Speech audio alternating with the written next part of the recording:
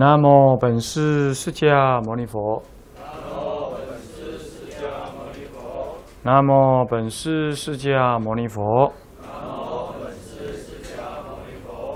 南无本师释迦牟尼佛。无上甚深微妙法。无上甚深微妙法。百千万劫难遭遇百千万劫难遭遇。我今见闻得受持。愿解如来真实义。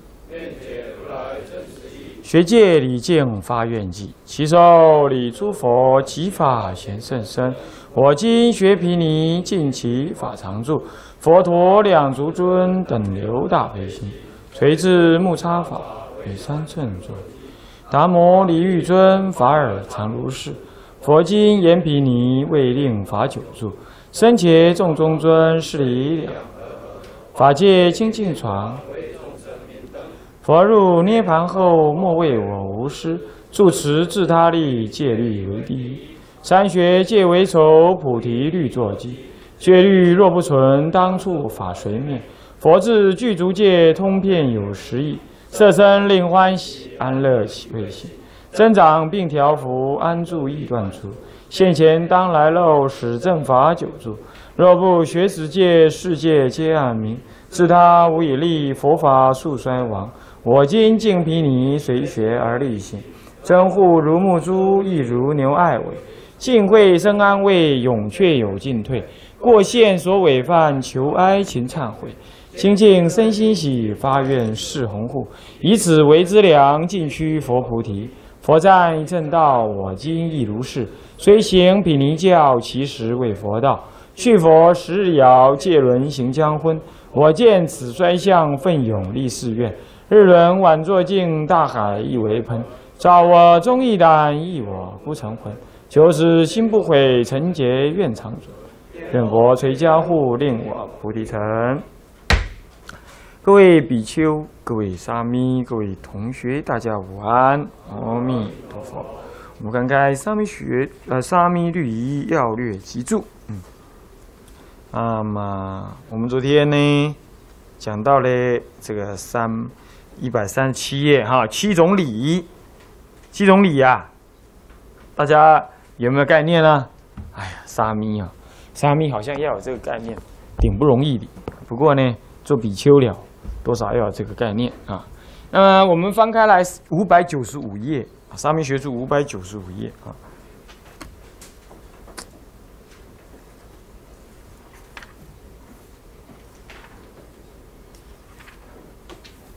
五百九十五页礼拜第七有没有？那个《千大方广宝夹经》里头啊，啊，里头呢怎么提到一个《大方广宝夹经》呢？自登声闻呢，这是一个声闻人问文殊师利说：“云何礼佛？你怎么礼佛呢？”啊，注意啊，这个文殊师利，他是诸佛之母。那么呢，他的回答代表了充满智慧。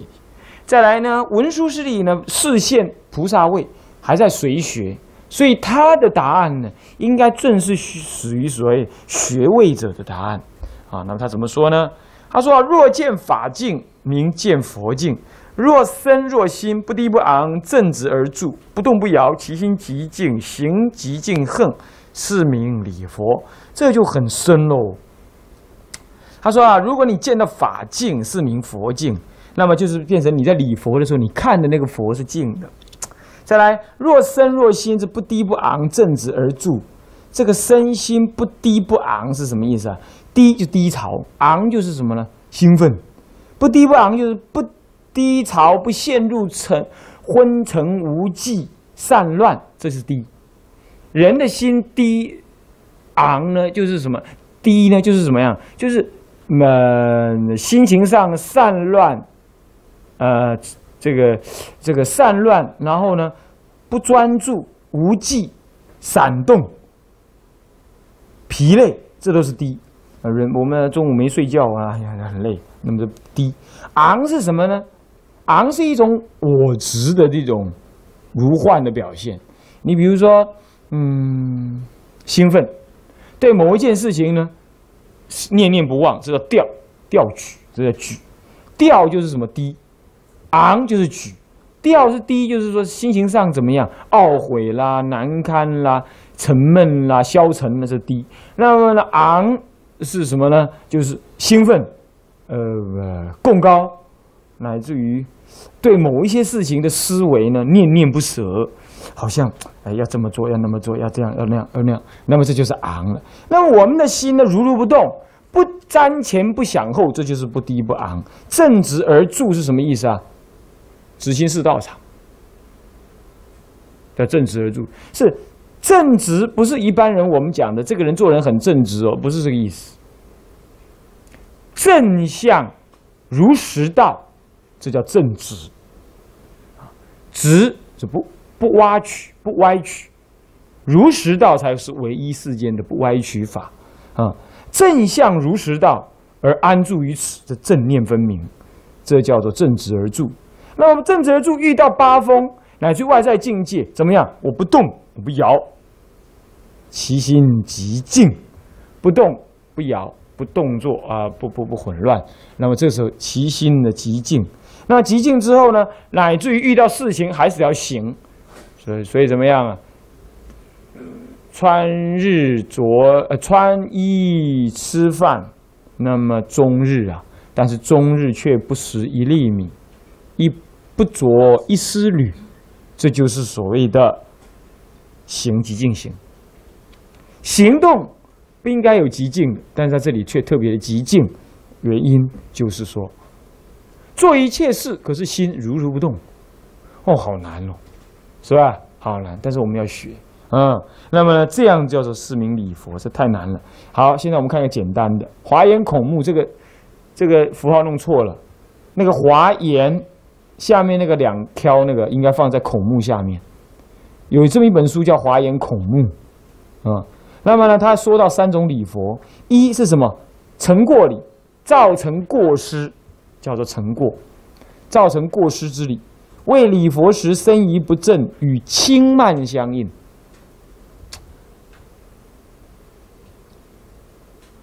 那么呢，如追上下，这个佛字有过，哎呦。有人拜佛拜的很快啊，叮咚叮咚咚，像那捣蒜头一样，这样。佛字有过，如这一上下，佛字有过啊。第二呢是相似礼，为礼佛的时候，身仪虽是端正，可是与杂觉相应，这相似礼。这个或许不叫有过，但是呢，总是功夫白费。你想想看，这种人一定拜一拜很累，就不想拜。相似礼，这看起来是。很端正，可是呢，这思想乱七八糟。再来顺时礼，为礼佛的时候，身仪不但端正，而且正治相应，随顺时礼。这随顺时礼，这个顺时礼就是我们这个这个课本上面的什么呢？从第四开始，四五六七这四种礼，叫礼礼啊，后世名礼礼，这四。那么呢？那么呢，第二种呢？第二种有点像我们这里的第三种，身心恭敬，口上佛号，心念佛，身向光明，如在目前，身心恭敬，无有意念，供养礼佛。这里头是无有意念，那当然还超过他的第二种。他第二种是心有杂念，心有杂念这样子，啊，心有杂念。所以第三种是事理啊，一般他这里没提啊，这里沙弥学术这里没提啊。好，这昨天没讲到的呢，跟大家提一下，让大家知道礼佛有这种万象差别。将来你礼佛的时候，你就知道你在干嘛。我个人呢，以前在住山的时候，这么修的时候，常常是我是觉得我是第三种，好不容易才有第三种。那么常常是第二这边的三明学说第二种，干嘛？身心虽然很恭敬啊，可是有时候很累啊。刚睡饱起来两点钟，哎呀，哎要拜法华三昧忏，好长一段，那么还要念还要拜啊，拜的时候，那有时候拜拜。刚开始拜还心很专注，能理所理性空寂，观想自己是心是空的，身也是空的，佛遍一切处，嗯，感应道交难思议。可是我从来没感应过，怎么道交法呢？那么就这样拜。那么这那刚是拜了之后呢，一个小时过去了，筷子后面那个忏悔文要念呢，哎，心就开始煽动。你看众生真是可怜了，真是可怜了。何以故？这心不能持久。啊，变成持久，是吧？那么这个各位呢，也平常知道自己的心相如何。好，这样结束了。翻过来一百三十八页，我们昨天是不是讲在这里讲完了，对不对？现在讲一百三十八页听法第七。哦，没有，听法第七都讲喽。嗯，我这里是要补述而已。听法，听法那个附附录那里啊，是不是讲到那里了？附录，凡听法须闻而思，思而修，不得专记名言，以之谈平。闻思修，所谓的什么？从闻思修入三摩地嘛，是吧？所以要闻而思，思而修。这个孔老夫子有这么说过，《学而篇》里头有什么？学而不思则什么？则罔，则罔是吧？迷惘的惘。那么思而不学则殆，是一样殆。殆，思而不学则殆，学而不思则罔。你学了很多，可是你不去思维整理啊，你那个好像什么都懂，很迷糊，很迷惑，迷惑。嗯，这个不清楚。哎，戒律也需要如此，戒律有戒律精神的呀。你要掌握那个精神，并且了解那个相貌，两者合一。啊，就不什么学而思，那就不忘。那么思如果不学呢？你怎么在想？嗯，我看戒律精神大概是这样，大概是那样。那么呢，你不学，这叫做慢心不学。戒律尤其怕这样，各位同学千万记得，戒律容许你说我不懂，啊，我代查，绝不容许你什么以意推之。懂我意思吧？以意推，这样这真的是查不到的。这样勉勉强强说以意推之啊，好好，真的查不到。你很用心去各地方查了，那查不到也只能怎么样？暂时说是，我想也只能这样，不然你们行为上很难判定嘛。哦，你不知道这件事该怎么做，不能做，好，那就以一推之。哦，是这样子，那是查不到，确定了哦，不是，比如说抽香烟，抽香烟例上没说，你也不能判怎么样，那你以一推之，这不应该抽。哦，你可以这么讲，然后所以说这个是思而不学，那很多人学戒律也是这样子也不行。那么学而不思则罔，就只是这样讨文具名相啊，也不了那个戒律的内涵精神呢。那就是戒律上有写的，就是你懂；没写的，遇到特别 special 的状况，你不能活用戒律，那也是不好，是吧？学思要相应啊。罔是迷惘，怠是什么？错误、过失啊，怠。好，这么讲的文思称为三会了。文须谛闻呢？谛闻是什么？专心的听，谛听谛听的意思。思须审思，审思是什么意思啊？思维哈，就是去体会他那个道理。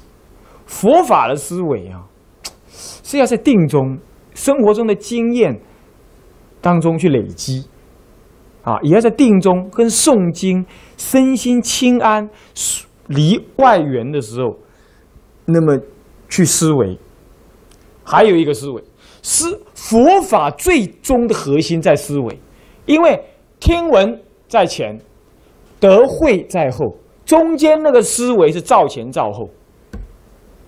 所以说禅那禅挪，它的梵文叫禅挪，它的原意叫什么？静虑。审思静虑，对啦。所以说思虑是佛法什么？佛法得利益的一个根源。啊，慧是什么呢？慧有说不思的，但是他从思而来。可是真正慧的获得，不是就在思维当中获得的推论。思维是一种推论，分别。那么呢？否定再肯定，肯定再否定，或者生命中体会的过程。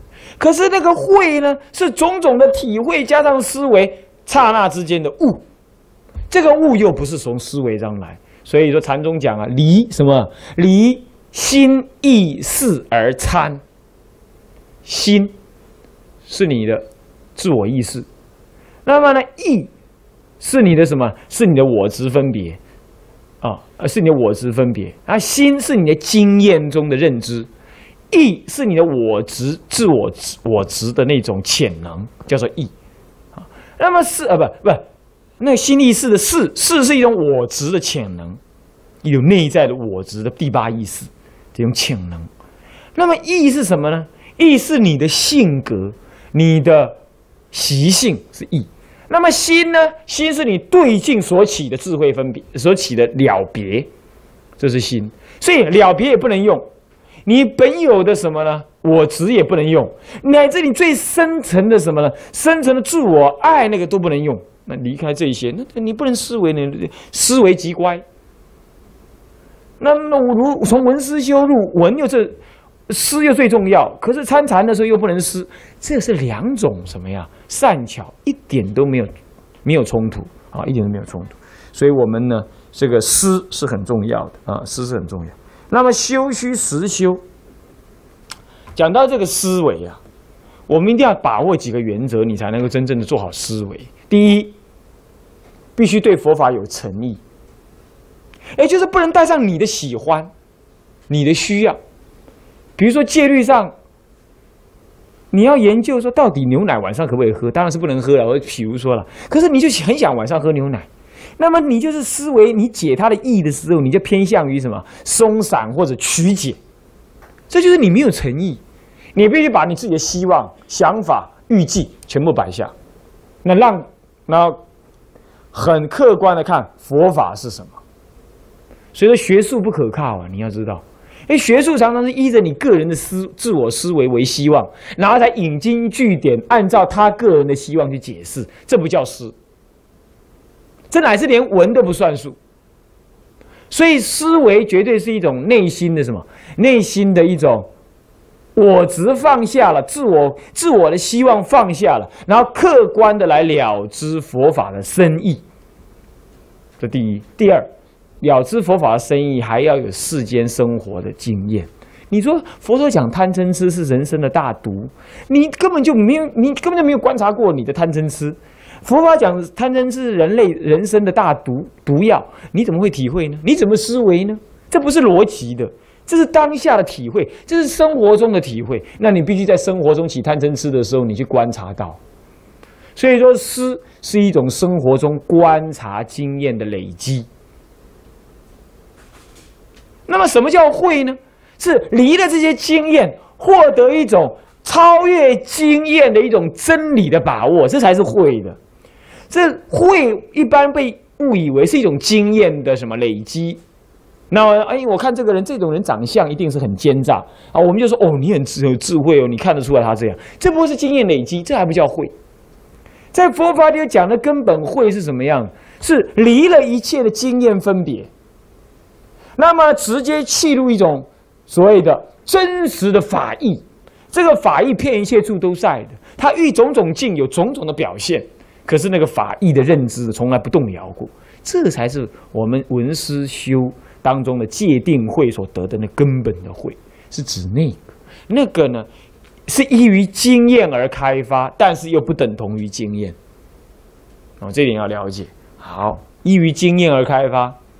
哦，依于经验而开，所以说修须如实的修。那如实的修是什么意思呢？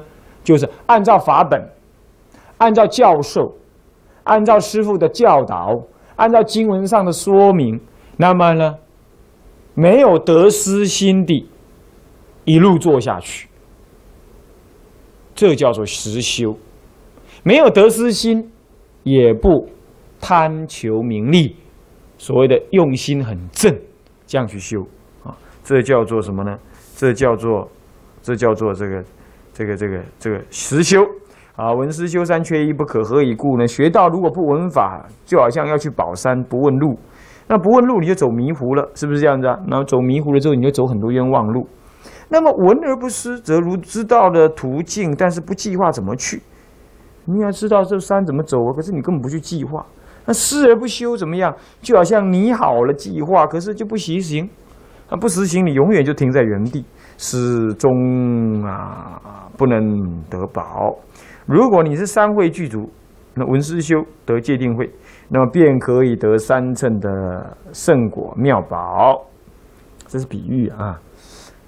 那么不得专记名言，这名言什么意思呢？名言者，非自道真实之言。其言欲福而道欲上，这个言欲福啊，道欲上。什么叫福言？我们从一个广义的立场上说啊，与道不相应，不能增长自己的道心的任何话，都叫敷衍、敷泛之言啊，都是敷泛之言啊，嗯，那么都是没有用的啊。那这个，但是有时候狭义的讲敷衍是什么呢？就是那些世俗的啦，或者轻浮的啦，动动乱散乱人心的啦，这就就是敷衍了。那么呢，讲这种话越多，吉人吃寡嘛，造人吃多。讲这种话越多，你道你越丧失。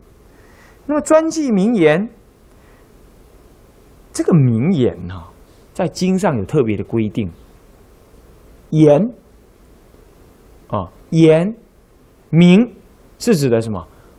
任何一个物质的什么呢？标示它的符号叫名。这个东西叫麦克风，叫做名。言是什么呢？将这些文具组合成为一个完整的意思，叫言。那所以说名言就是记那些名相，专有名词啊，涅盘呐，嗯，什么什么界哦，啊，什么如佛，什么什么真如佛性哦。啊，空假中三观哦，名相很多，这叫做名。那么言呢？祖师大德的言论呢？佛经上的道理啊，你把它记这么一套，那么你拿起来呢，这里斗一个，那里斗一个，哦，讲的是大家就一愣一愣，这是言。那么你专记名言而不少修行，那不就是什么八哥学语？懂意思啊？八哥啊！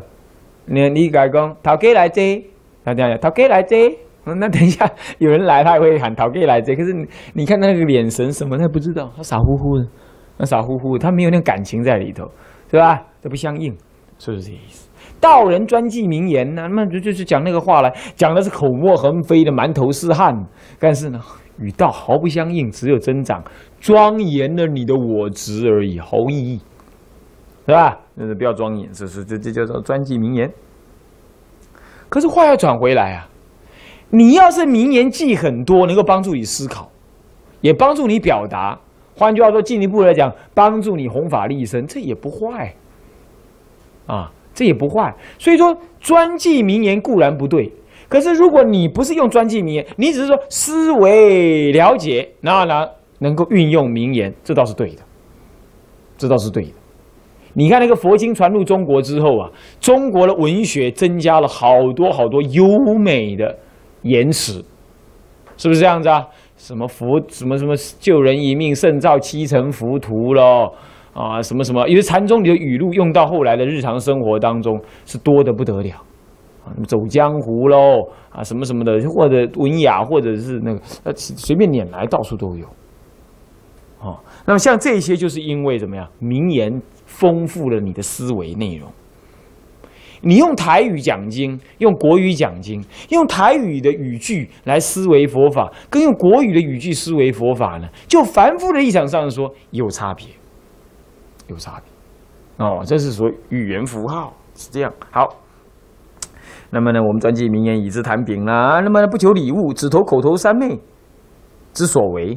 啊，讲这个话到处胡乱骗人，讲的是高高是道，头头是道，大家听的是很累，啊，刚开始不了解你这个人呢，我听的是什么如醉如痴，但事实上啊，后来你就把你摸透摸透了啊。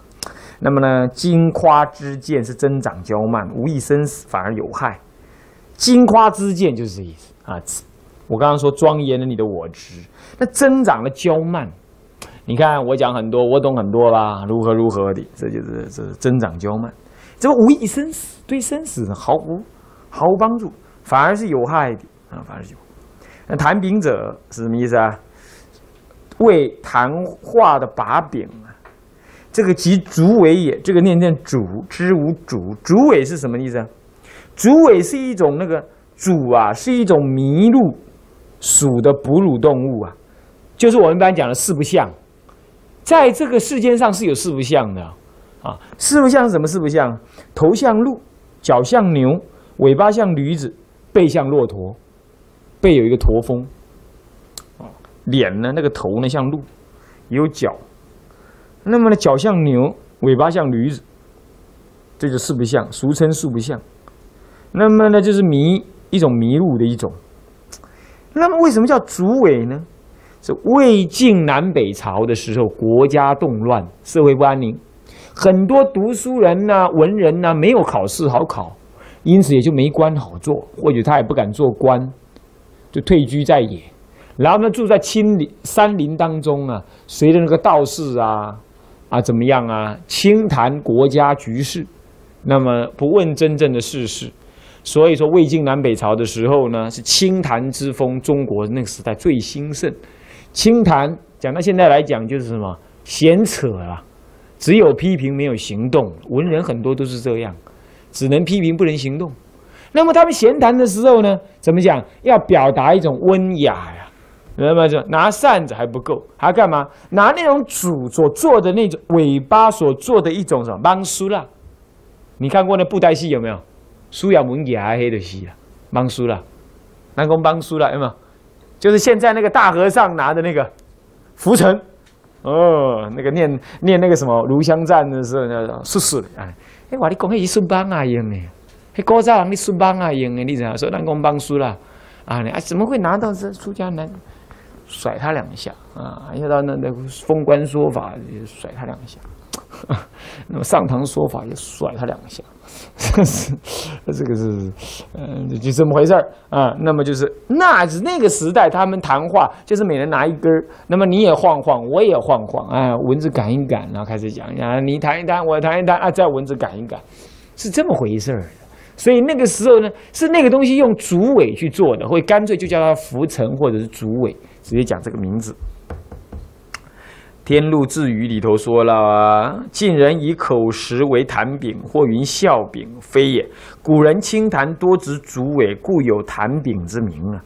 那个竹尾啊，有个柄在那里，所以说谈柄就拿了那个柄啊，边拿着边甩一甩，边聊天儿，聊天就甩一甩，聊天儿。所以就是谈柄，谈柄就是拿那个柄来谈话，叫谈柄啊。绕人话柄，这是绕了人家。”说闲话的呢的机会啊，就是这个意思啊。这个柄是从那个竹尾来的。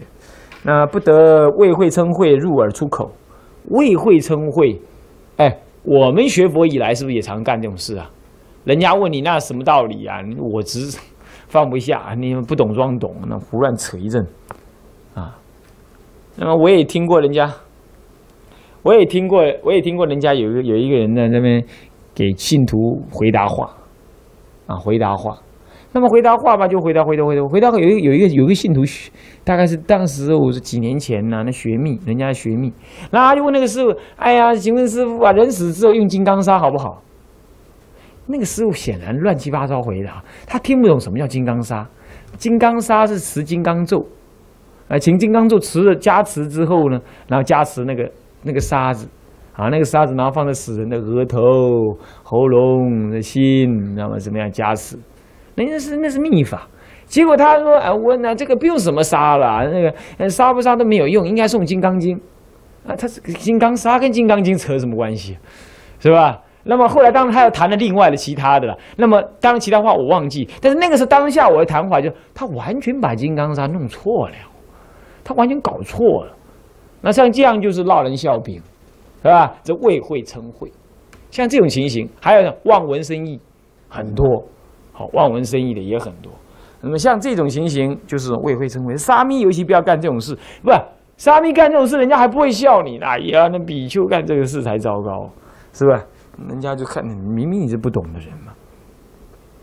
所以不得未会称会，入耳出口，入耳出口是怎么样？道听途说，入耳然后出口，中间只有三寸而已。不能美你的肢体，儒家这么说了。何能美七尺之躯？他的是躯。他说啊，你话耳朵听进去，从嘴巴里讲出来啊，那么呢，只不过是三寸而已，连你身体都没有绕一圈，怎么能够滋润？怎么能够庄严你的身体呢？你就讲进来就把它讲出去了嘛。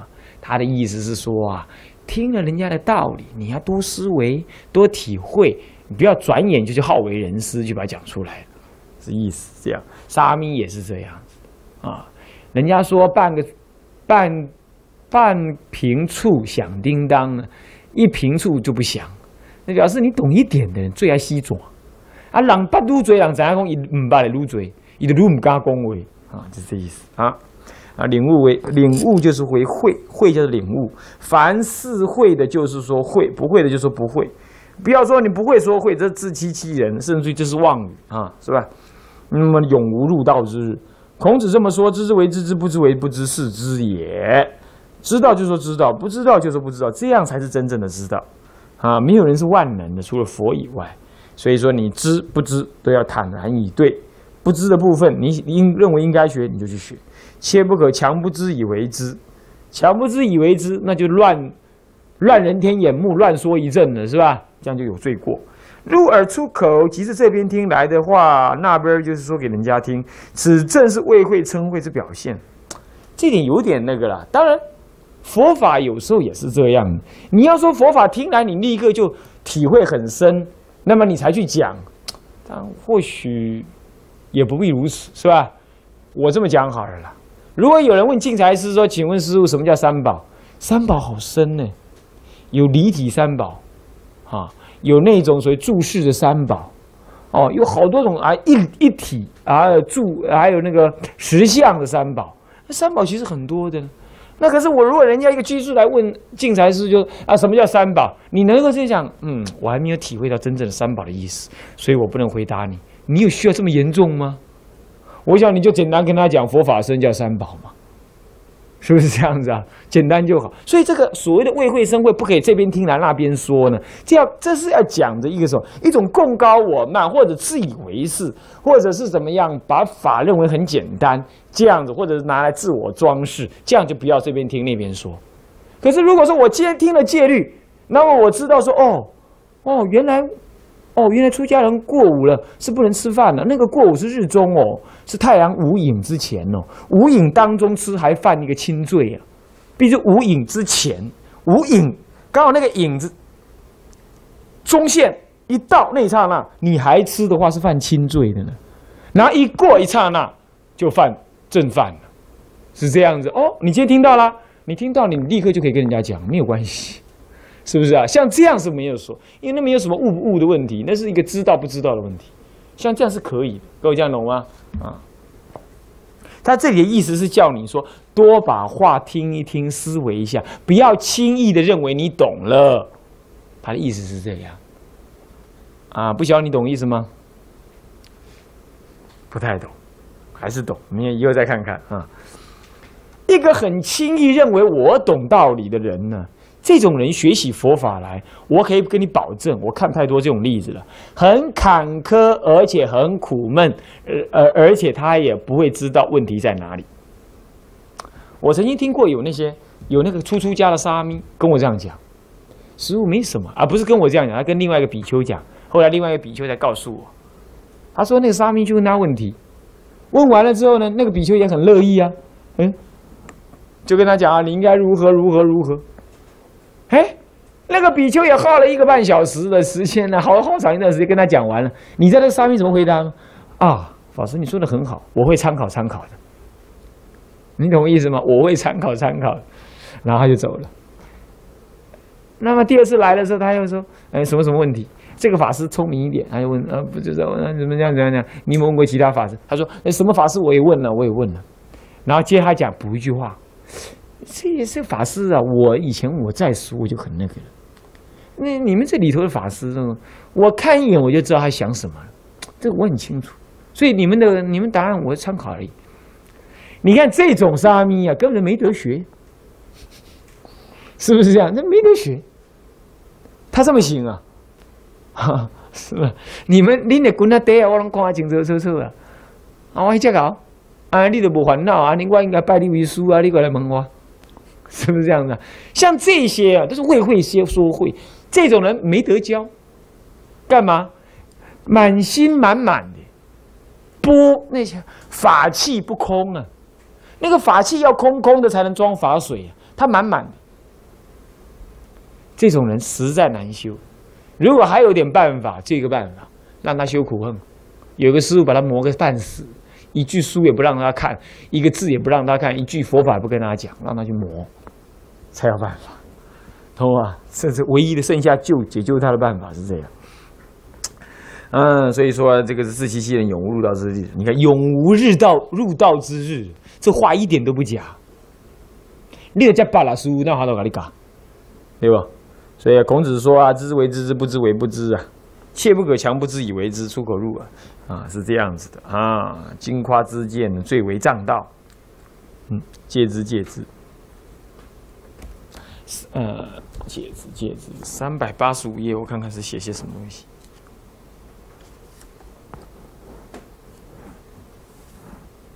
啊，这不用解释了，没时间了啊，那就不要看啊。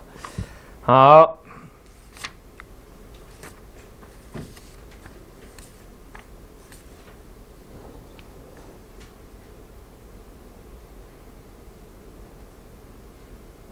好，那个我这这段讲完了之后，我要问你们两百二十六页，哎，一百二十六页，翻到一百二十六页，一百二十六页那个随众十第五，嗯，是不是那里？不是，那里我们有没有看过那个两百四十三页的？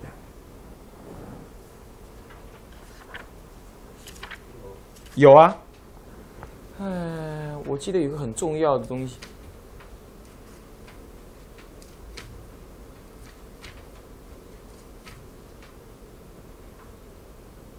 好，五百四十八页，你们看过没有？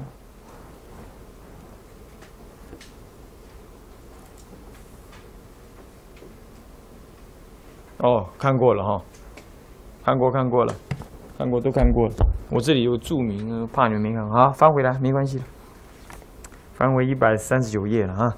年少沙弥戒力未固，更一更学律，不得早复讲言。看到了，年少的沙弥戒力未固。那么我们是年少的比丘，实际也是戒力未固，是吧？那么更一更学律，应该赶快五下学戒。那么呢，等到能够开善知识饭，这个时候才怎么样？才怎么样？才到外头去参学，听人家讲经说法，开智慧，身心圈不犯戒的就没有障碍，没有障碍，听经闻法才快啊！听经闻法才快啊，是这样子的。戒力如果不坚固，那意志就不坚了，随风上下。反过来说，意志不坚固，戒也不坚固，所以说相互培养的啦。持戒一定要有意志力啊，意志力要坚强啊，必须要戒力来扶持。这两相成长的！如果你没有这意志力，又没有戒力，那么就会堕落。而且我告诉各位哈，意志力是修道的根本。可是意志力是虚无缥缈，要靠戒的防护来增加你的意志力，不然意志力要用到哪里去呢？你比如说，以隐心看女子，这要犯一个轻罪的呀。要是没有戒律的话，那你你用用意志力硬是不看不看到时候还是随他去。可是现在你知道这个犯戒的有个戒在那儿，他就帮助你意志力增长起来。同样道理啊，那晚上吃东西，那么用意志力去顶。可是如果你知道晚上吃东西犯戒，而且将来下地狱引条，那个这个引引羊童灌热汁，那么除非是重重病啊，除非重病或者医师要求啊，不然的话这没开源啊，怎么办？那么你有了这个戒法在那里，你晚上想吃，会增加一个戒的力量来防护你的意志力。所以说戒力增长意志力是这样子的，各位了解啊？增长意志力。所以如果没有了意志力，就不会随风上下。所以年少的沙弥当学戒律，苦行超履是形成力着，行修行能成就力能够着力。那么那个时候呢？听教才不晚，各位同学，为什么要五下学界行成而立足？这个行是指戒恨恨行恨成呢，不是形成恨成戒恨已经成就了。五下学界，乃至于五下的学界了，那么呢，一修行的力量能够用得上力。我一直的感觉，我越出家越久。体会越感觉越是这样，怎么样？如果不好好的持戒，修行徒有三分钟的热情，你就是扛不久。障缘外难，心善动就来。就算这些都没有，哎，奇怪，修习法来索然无味，嘿，怪了。可是你要是有戒了，很快修入法了，那就有滋味。这绝对不是那个把嘴把戒律拿嘴巴讲讲，或者视戒律为粪土的人所能体会得到的。这是如人饮水，冷暖自知。所以我期盼各位回去到常住里头去，死心的好好的研究啊，那慢慢法水入心呐，是你就很就自在的修行。今天好多的出家人，好多的出家人，乃至尼师，都在自己后悔自己是出家人，干嘛修不了啊？又不能像在家人这么自在的孤游到处去。他反而在懊悔自己是出家人，你看是不颠倒不？为什么呢？法水不入。啊，那你看他也很精进的，哎呀，山间住小庙啊，住精舍啊，他也弄了一大堆大藏经。那可是，一坐上去要送地藏经，打卡睡，打卡睡，睡睡睡睡睡。呃，那他们打卡睡没道理，你们打卡睡有点道理了，因为要做事情很多，是吧？那么，那那那，那么这样弄下来呢？弄下来了怎么样呢？这个那一天两天没没法益，三年五年还没法益啊，完了啊，完了，是这样子的啊。我我最近又体会一个道理啊。有一天我三一个月前，我爸啊为了那个法华三昧山修订的事情，我自己开车子到那个中民南路去。那么他回来的时候刚好遇到下班儿哎，车子好多。我我在停在车子里头听那个佛号。听那个佛，我亚洲的自己录的那个佛号，那听，那听的时候，突然间有个念头冒出来，我就说这几年里出家呀，虽然对纪律有一份诚意呀，但是总觉得学行不利。今天呢，这我总算有了机会，也有了同山道友，也有了时间跟环境，好好来学了，才感觉不是孤儿。我总觉得，哎呀，因为出家人如果不依赖依赖戒律啊，这个。自以为是啊，根本就是孤儿而不自知。哦，我那时候体会很深的，在那种十里洋场啊，嗯，外面车水马龙啊，男男女女一大堆，我就躲在车子里头，好像一个小道场一样，就就这么等着红绿灯的时候就这么思维，他就油然的是一种感觉。我不晓得同学能不能感受到我说这个话，就如果一个出家人没有了戒律，他就永远像一个孤儿。然而他又不知道自己是孤儿，那才可怜呢。不知自己是孤儿，所以各位同学，所以说真的是末佛入灭后以什么为师？以戒为师，才不是孤儿。嘿，这佛的今年呢，咱们也讲了九年，你看看，从出家到现在九年，到那刹那才体会到，对呀，以戒为师就不是孤儿了，有依靠了，生活像个样了。举止动念像样了，是不是啊？这各位同学要了解这样啊。好，那么那么就是这样，所以借力要固啊。所以说，呃，力成呢，这个形成力着，力量就能够用得上力，修行能用得上力。你看看那个偶益大师，偶益大师是为什么发狠心，从二十八岁开始阅藏，阅了三年，而且还先阅律藏，为什么？因为他从十，他从二十多岁开始出家就参禅，而且参的不错。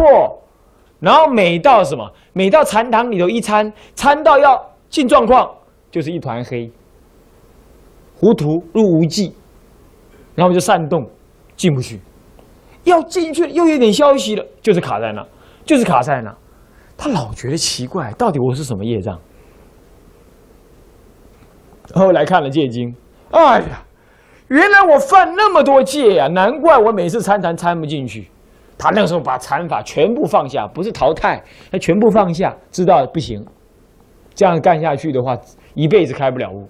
所以呢，死心塌地怎么样？一转开始阅藏，他没老师哦，他老人家没老师哎，律学他是没有老师，他是无师自通的，他没老师，他就这样开始 K，他从看律藏开始这样看，看三遍律藏。看是是这么个用功下来。当然三遍不是一口气看完，就是他第一次先看完一次，还是两次的样，然后就先做了笔记。后来重置毗尼是后来他又再看了一次之后，他再重新再修正。那么像这样子用功法，就是他自己走过来的路啊。我现在倒是觉得各位呢，一开始就摸对了路，就不要轻易的说哎，无硬好，唔能安尼想。嘿，做书拢安尼减掉给，啊，或者减倒转来，咱都要学伊安尼，咱也要比伊先活些咯，比他省很多路。好，这不就是这样子喽？所以说这个时候说立成形成立着了之后，听教未完，那个时候一文百物，一文百物，你信不信？真的是这样。那么，所以说我劝勉各位啊，现在武下学界看起来比谁都慢，可是将来呢，怎么样？鹏飞千里，懂吗？哦，现在某人呐开始看什么大经大论呐，哎呀，能够乃至是站在台上去讲经说法，你闷不吭声学他戒律，乃至三年、五年、七年、八年的。学一学，我起码梳理牛你不要紧，我累积足够资粮。你坐的是卡达车，你给走我五年吼，我用的是黑钱。等到我火箭的燃料够了，我一点，我鹏飞千里，刹那就超过你了。是聪明的人要这么干，扎实又快。所以不要看眼前利益。哦，伊咧背金公斤啊呢？哦，伊咧看大菠萝经呢？哇，有遐多，安尼一讲我拢毋捌呢。我输啊，我，每次还输人毋输丁，输丁拍画面。我赶紧我去 K 一 K，什么华严经什么经，按着，不用怕，懂吧？戒中自有定慧。听佛的话，你绝对起跑点上面绝对站得比人家前面。不听佛的话，都是凡夫想法，一定赢不过你。你要有信心。懂吧？所以听佛的话，你在佛所安排的起跑点上面，一定让你跑得又快又壮。不是长得又快又壮，是跑得又快又壮。啊，不要用人的想法，懂意思吧？啊，是这样子，所以我赞叹武下学界啊。金之沙弥呀，怎么样？已入佛学院的？习教者应该制定每晚阅沙弥律仪一篇或者一章，以之策立，而故戒品。其实这个话也不过是一个勉强勉励说的了。理论上说，依照律的教教导的原则，作为一个沙弥入的佛学院，根本不能习教，他应该习律。他应该先学好谁学好沙弥呃比丘法，哦才可以。那法师啊，那这样难道基本的佛法道理都不懂？当然应该啦。当然应该啦，简单的佛一教三经懂一下吧，是不是这样的？哦，那么的早晚课的仪轨总要学一下，总不能沙弥连这个都不懂，是吧？这当然要学，但是重点绝对摆在律仪，我跟跟谁学比丘法，所以比丘要像比丘才能够带引沙弥，是吧？是这样子啊。那么这不就是这样？所以说现在沙现在的佛学院以这种标准来看，差不多都是不合格的。那么不合佛的教法，你能够说是佛子吗？你能够说是依佛来办学吗？依佛法来办学吗？是不能。所以我就对，因此我因此我对于现代佛学院教育的那个内容啊，我的迭有批评。我迭有批评。我参加过很多次的佛学院会议，我也都很坦诚的有所有所批评。我觉得这并不是很好，没有按照佛制，这样就学有劣等。所以各位同学，以后你们教导自己徒弟或者自己安排修学佛法，都应该按照这个角角度来说，五下学界啊。那么呢，《五苦章句经》这么说：福善之事，欲教心学是怎么样呢？稍稍以见，教育模式，令护魔因缘，生死最苦，五道分明，令性最福，世事了了，乃可遇到。此虽师道，为沙弥者不可不知。他说教他教我们说，如果你要做人家善知识，或者做你自己的善知识，你应该要教导心学，就教导你自己。你自己是心学，你要教导你自己怎么样？稍稍以见是什么意思啊？就是什么呢？就是一步一步的以佛陀的教法的要求来善巧的诱导他进步，这叫稍稍以渐。稍稍是一步一步的，以渐是什么？循序善诱叫做渐，循序善诱叫做渐，好吗？那么稍稍就是可以意义意思意味着什么呢？一步一步有次第的叫做稍稍，有次第的啊，要记下来。有时候你们再重新看这个字就不太懂，有次第的怎么样？循序渐进。那么教导他怎么样？有关一切堕落的因，堕落的因缘都应该教他干嘛？告知一切犯戒因缘。叫做魔因缘，犯戒因缘就是魔因缘。那么呢，生死的最苦呢？五道中的生死最苦呢，非常的分明，让他能够相信因果跟福罪自招的道理。好吗？这句话下面这句话就是这样：生死最苦，五道分明，令信最福。就是说。让他相信生死的最苦，以及六道轮回的事实，都是由自己的福跟罪所招感的，讲讲道理。那么，让模式以及轮回的苦因都能够等等事情，叫做世事等等事情都能够完全明了了。那那个时候才可以对他说佛法更深的道理。换句话说，作为一个沙弥，应该随着佛所教而循序渐进的学习，并且相信因果、厌离生死，了解轮回的可怕，懂吗？这样子乃可遇到，这样子就这样这样子对于。世间种种的事缘都能了了了清楚而不为所惑，这才可以为他说道。好，第七，再来第八，学习经典，宜先学律。这这里干脆就讲出来了，是不是啊？干脆就讲出来，宜先学律。那么呢，后学多罗，不得违约。干脆就讲不得违约。嗯，这是已经讲了白了吧？前面还不敢讲这么明白，现在讲这么明白了吧？你应该先学戒律，然后才修修塔，修塔就是修多罗，啊，修多罗就是什么呢？贯穿义，我那天讲过，啊，是经典义，啊，中国人或者是经是什么织织布的那个什么经线，啊，这个经线，这叫纬线，纬是横，织的叫做经，是吧？那么经线的织布就是有经有纬啊，就织成布了嘛。那么呢，那么呢，经修多罗是经纬的意思。可是中国人重经不重纬，所以说把它拿来当做经，翻译成经，不得违越，不得违背而什么劣等而学，超越而学就是违越。学问呐，可以移情野性，书神达师。是故人不可不求学，人家世俗人讲啊，三日不读书，面目怎么样？狰狞，是不是啊？是不是啊？啊，嗯，是，呃，那么所以说要怎么样？书要常读，可是呢，不能读死书，也不能把书读死，最后你就读书死。读书死掉，是不是这样？这样就太糗了，是不是？要书要活读，哈，要懂道理，那能运用，啊啊，这才可以啊，是这样的。是古人不可不求学。古人说了：“目无知谓之慧，何谓慧？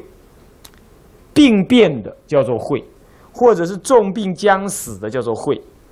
一个病里头一个鬼啊，生病哈，这个病这边呢生病。”那么用用用转注字，就是里头写个丙字，这叫病。那么呢，等到病病的太厉害了，就病的变成鬼了，鬼样了，快死了啊，病成鬼样了，所以就叫重病快死了，叫做叫做会里头写一个鬼字，你看是这个意思吧？这造字的用意是这样子的，都快变鬼了，那就 病得像鬼了，那就是病很重啊。你这个字要念会啊，不念愧啊，念会，和无畏会。邢思思，你来台湾，你学的是注音符号啊？是啊，那就是要这样写了。啊，会啊，你很厉害啊，来这么一下子而已，就还能写，还能说啊。嗯，那么呢？那么就叫会啊。啊，人不学，谓之古。古就是我吧？就不没有目，叫做古。这个古呢，又引申为不能分辨是非，叫做古。那么古今的圣贤呐，皆是由学而成其德。但是沙弥所学与常人不同啊，自有他一定的程序。看到没有？这句话就是我们沙弥学术的序文里头所说的。沙弥的教育有它的特殊性，不能够混乱于一般的什么一般的身教育。那和尚也是有这个见解，是吧？和尚也是有这个见解啊。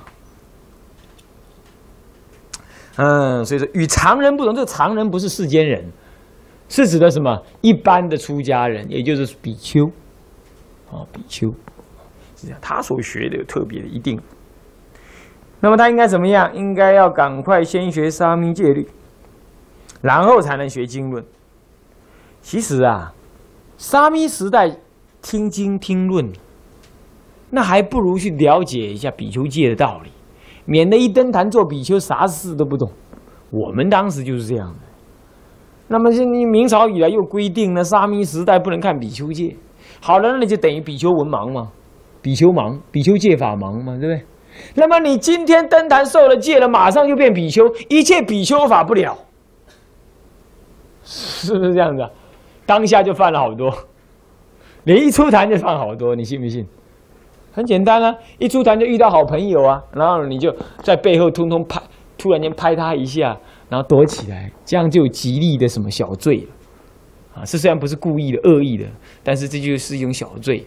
乃至于看到你的好朋友啊，拉了手晃他两下，边走边讲话，这样子叫手牵手，比丘手牵手走路，这也是犯，这也犯。你看像这样都是那样，那更何况还其他叽里咕噜的，是不是？所以说一登完坛下来又开始犯戒，一路就犯到底，犯到你路，翻到你开始翻到戒本的时候，你在那安奈阿内。所以说这还是有点缺憾，所以难怪南传人他们要求沙弥登坛之前，根本比丘戒全部背完了，就原因在此。所以确实确实是有这种好处。虽然今天立场上来说，还是有人劝说啊，比丘不要呃沙弥不要学比丘戒的。但是我倒是觉得这是这是要必须要有真的好的师傅教导你比丘戒的刑法才有办法，不然真的是沙弥也是糊里糊涂登坛的啊，立刻变比丘，一切比丘法不知啊，很可怜，是吧？好。所以呢，应该要先学一下啊，有这个程序的，应该先应该先学后先学戒律，后学经论。所以我倒是觉得沙弥学的经论应应该是很有限，像那个心经，沙弥根本完全不懂。那，八识规矩颂虽然很很浅呢，沙弥也不必一下学那些，是吧？他应该学就是一切比丘随学法，随学的一切比丘法，他得要加紧用功学那个。所以说啊，这个我们沙弥学术里头的有一部分是什么呢？四沙摩那戒本有没有？那么呢，就有那个比丘尼的道场很用心，他就怎么样呢？他们开始大比丘尼就开始对小众上什么了？就对他们四沙摩那尼开始一一段一段的解释什么了？解释四沙摩罗戒本了，很有道理啊，他是四沙摩罗啊。对不对？他应该送四沙摩罗的戒本呢？那戒本解释，这不是很有道理吗？像这样，他们就很有因缘，将来做大比丘尼的时候就很勇敢，懂吧？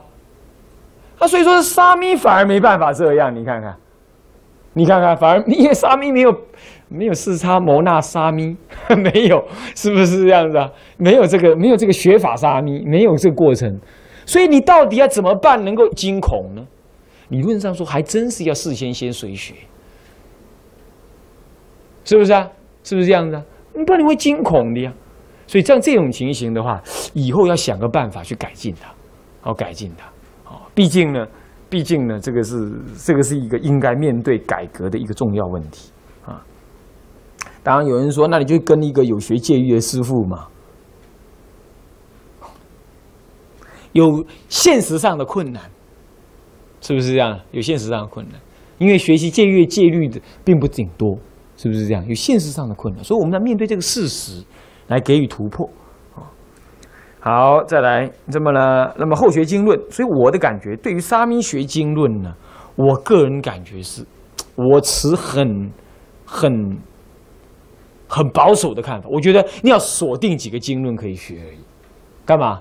八大人觉经都搞不好还没得学。当然，我我们自己佛学院也是要开了，但是呢，一定要在一教经上完了，然后上四十二章经。上完了，然后熏出一点大乘滋味出来了，才能够开始上八大人觉。八大人觉经是大人觉呢，事实上它蛮深的呢。啊，它由声闻法一直发展到菩萨法，这不是很容易，是吧？能学学这个，你们沙弥学什么金刚经说空说有，算了吧，这个根本毫无基础，增加我慢共高而已，那只不过是在家居士。嗯，跟那在家就没两样，所以我的教育理念是很很传统，我还是觉得应该好好学沙弥法，呃，比丘随学法。当然，赶快受了比丘戒之后，有了比丘的架势出来，身心没有障恼，那么才用功什么。所以，与其把学经论时间呢，还不如拿来干嘛？去拜忏、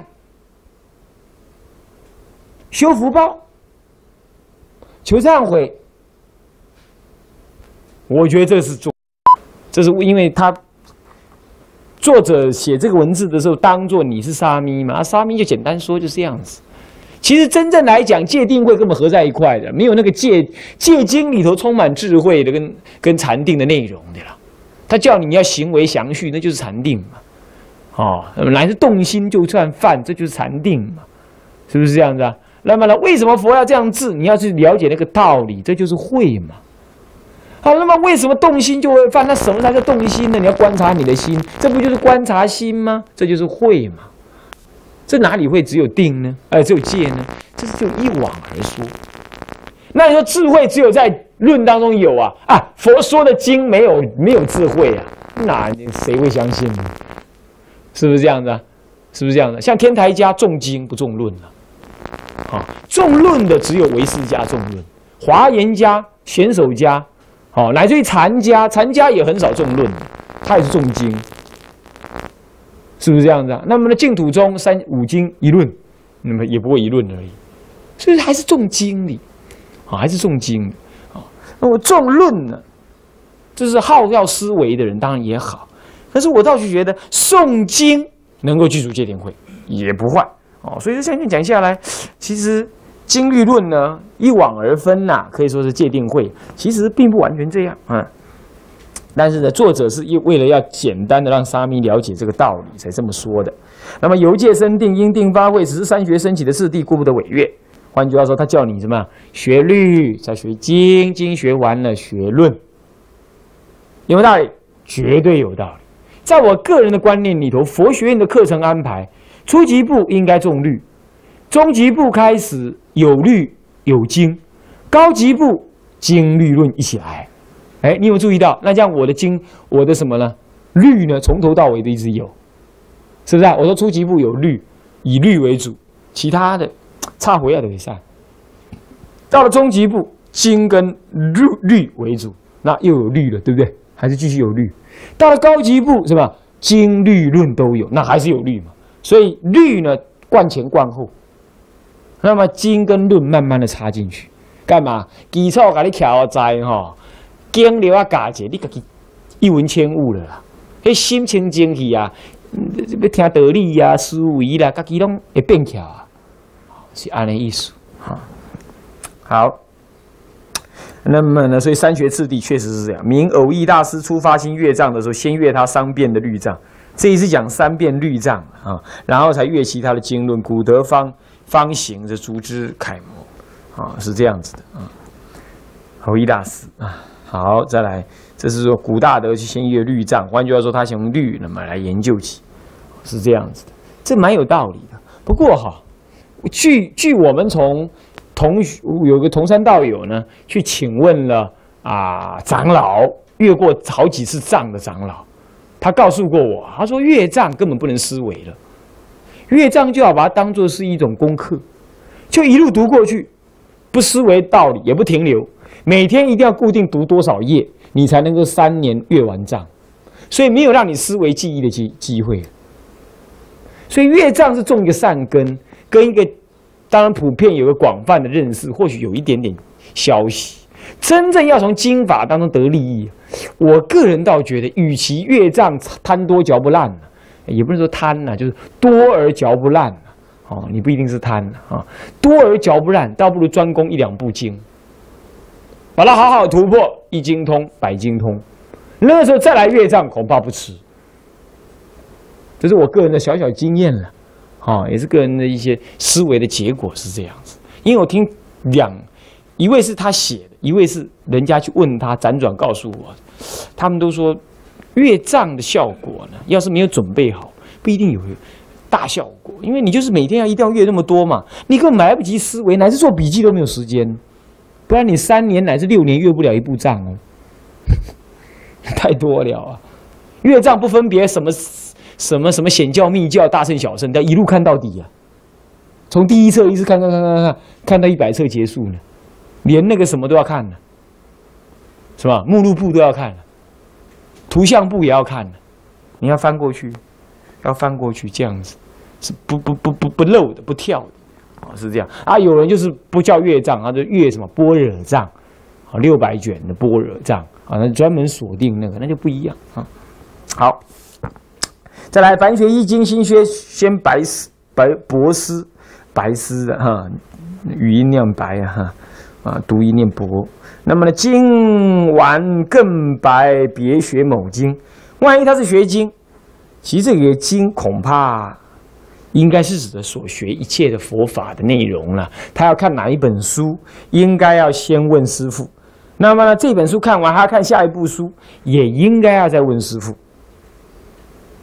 你比如说，以前我在啊某处，那么呢，就看到那个那个他们图书馆了，怎么样了？哎，有一本书，这本书是外道书啊，而且还在呵斥呵斥大乘法。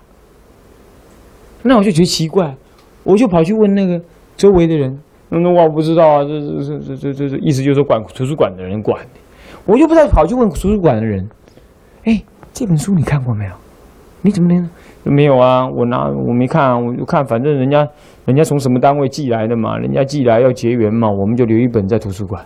拜托，哪能这样啊？进图书馆的书一定要有一个头脑清晰的人去鉴别过啊。啊，不然你把它放上去了，那以后不知道的人以盲隐盲就看了这本书，那不惨了？是吧？禅宗讲宁可千世不开悟，不可一世入邪见呢。那书就是传达知见的，知见有错误怎么能随便摆上去？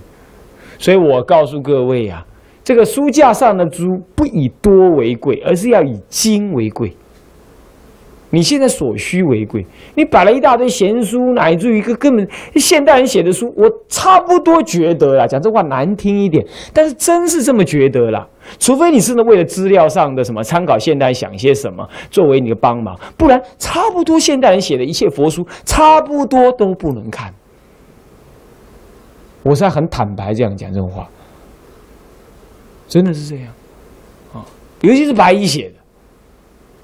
哎呀，又大又臭，拿起来垫脚的嫌太重了一点，是这样，这这没办法。现在资讯发达，有一点钱就可以自己出书，那出了书还指定送给出家人哦，他还反熏你们，你看看，是不是这样？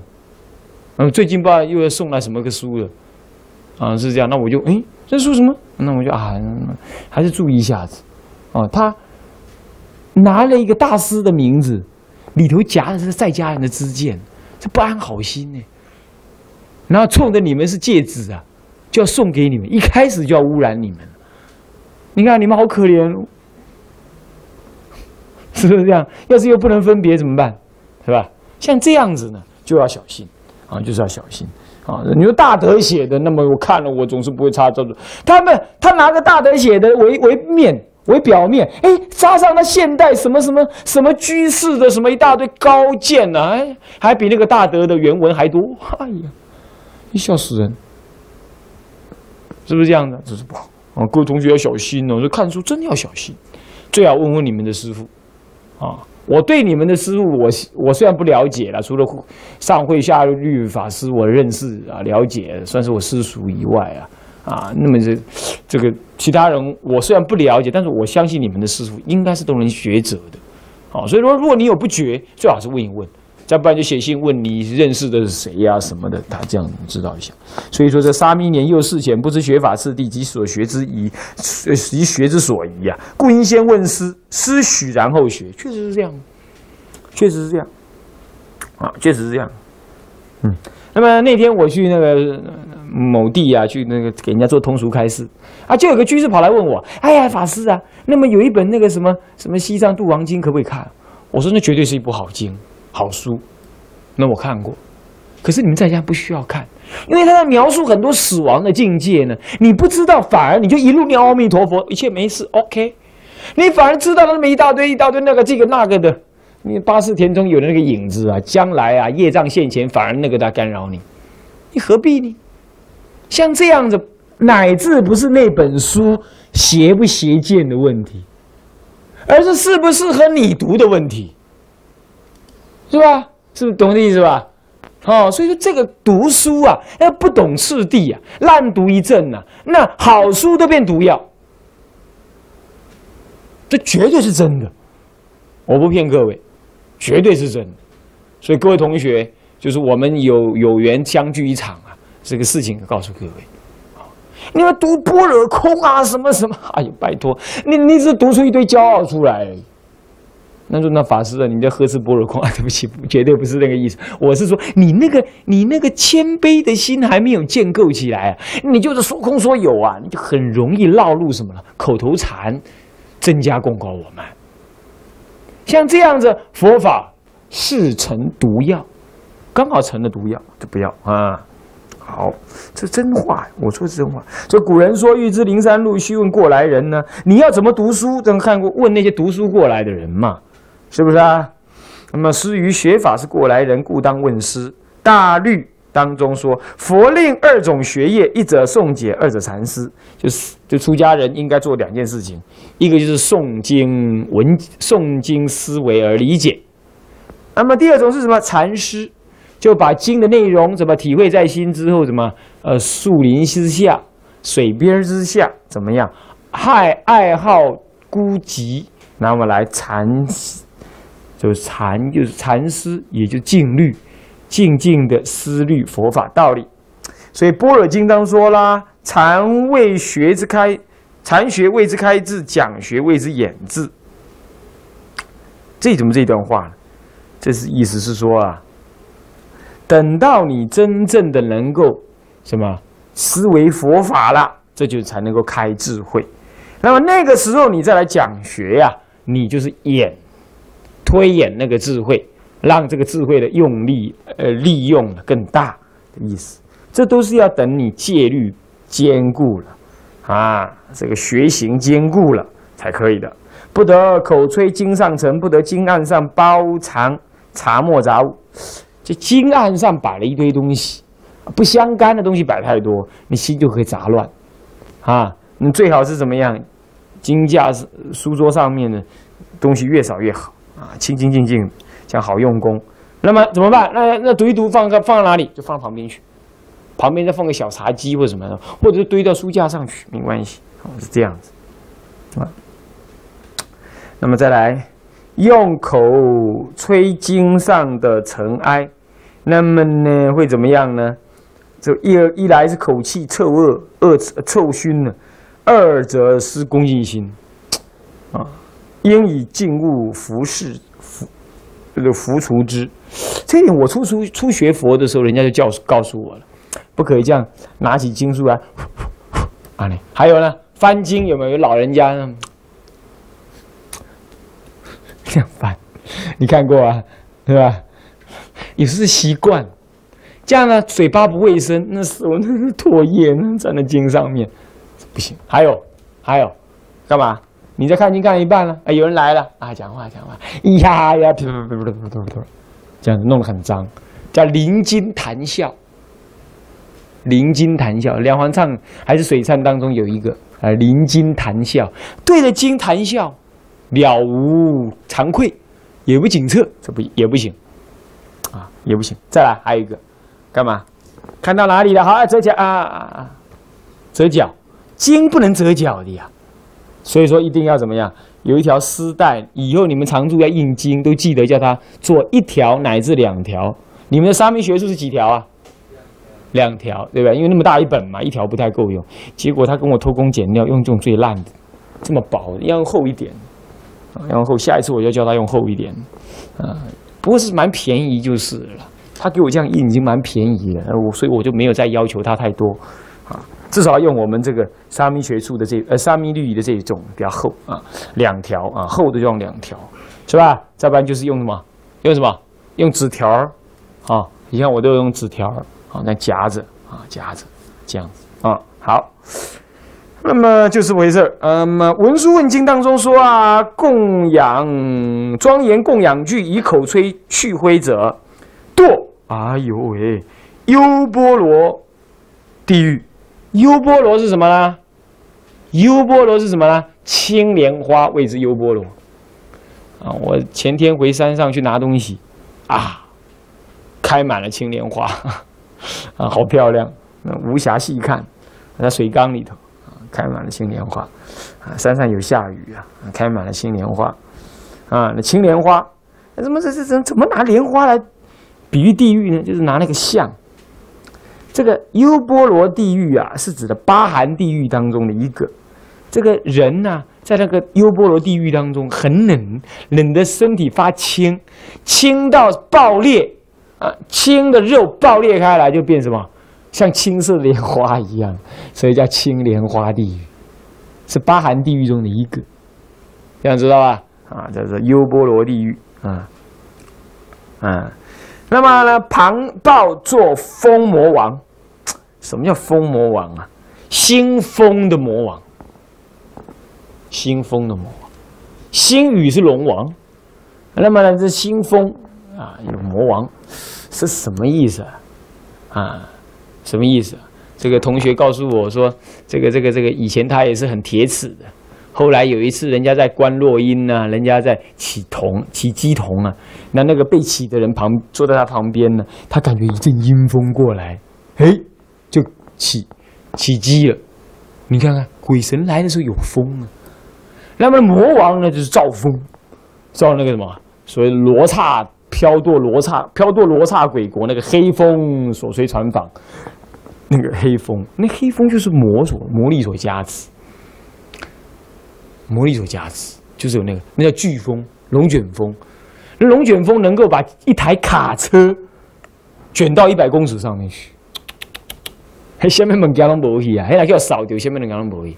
卡车呢？拜托，曾经在美国有龙卷风哦，卡车飞到几公里以外，嘿，你还惊死！黑丽娜报什么都没有用了啦，是不是啊？那是魔王所起的风，恐怕吧。所到之处哦，那个房子都像火柴盒一样四散分裂，所有东西空无一物。所以说风灾啊，地水火风啊，到了四禅天的时候，还会给风灾吹走啊。风最可怕。我们一般以为啊。水灾或者是火灾比较可怕，不是？那个地那个什么，那个世界在坏的时候啊，初禅天是给火给吹烧的，到了第四禅的时候是风给吹的，风可怕，所以说风魔王很麻烦，是这样，那是这样，那他嗔心大，罪障也重啊。那么庄严气上面有灰呢，尚且不可吹，那么何况是什么？何况是什么？何况是嘴巴吹是经上面的灰尘尘埃，这当然不可以。佛经上面放置杂物的，对法宝施恭敬呢，所以应该戒之。啊，应该解释。我们的读书人常常也是这样，像我自己也是这样，有时候在查这个资料，哎呀，堆了一堆，啊，好累，要查这个要查那个，堆的那那橡皮擦啊、圆珠笔啦、尺啦，就这么堆着，哎，实在是，人家以前看经的人就不这么样子啊，现在呢根气漏略。再来呢，对着法宝施敬啊，所以呢，亦不得以外书放内典上，外书懂吗？佛教以外的书都叫外书，包括佛教杂志都不可以放在佛教正统的经典上，包括佛教的什么通俗的介绍的书都不可以，除了字典这个以外，佛教词典儿啊这以外可以放在上面。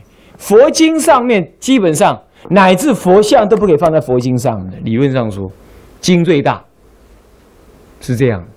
啊，当然勉强有时候没关系。佛经上面可以压的，我那是一小出还没出家前在莲音寺学的，啊，是不是禅功的意思我忘记了，还是那学长的意思？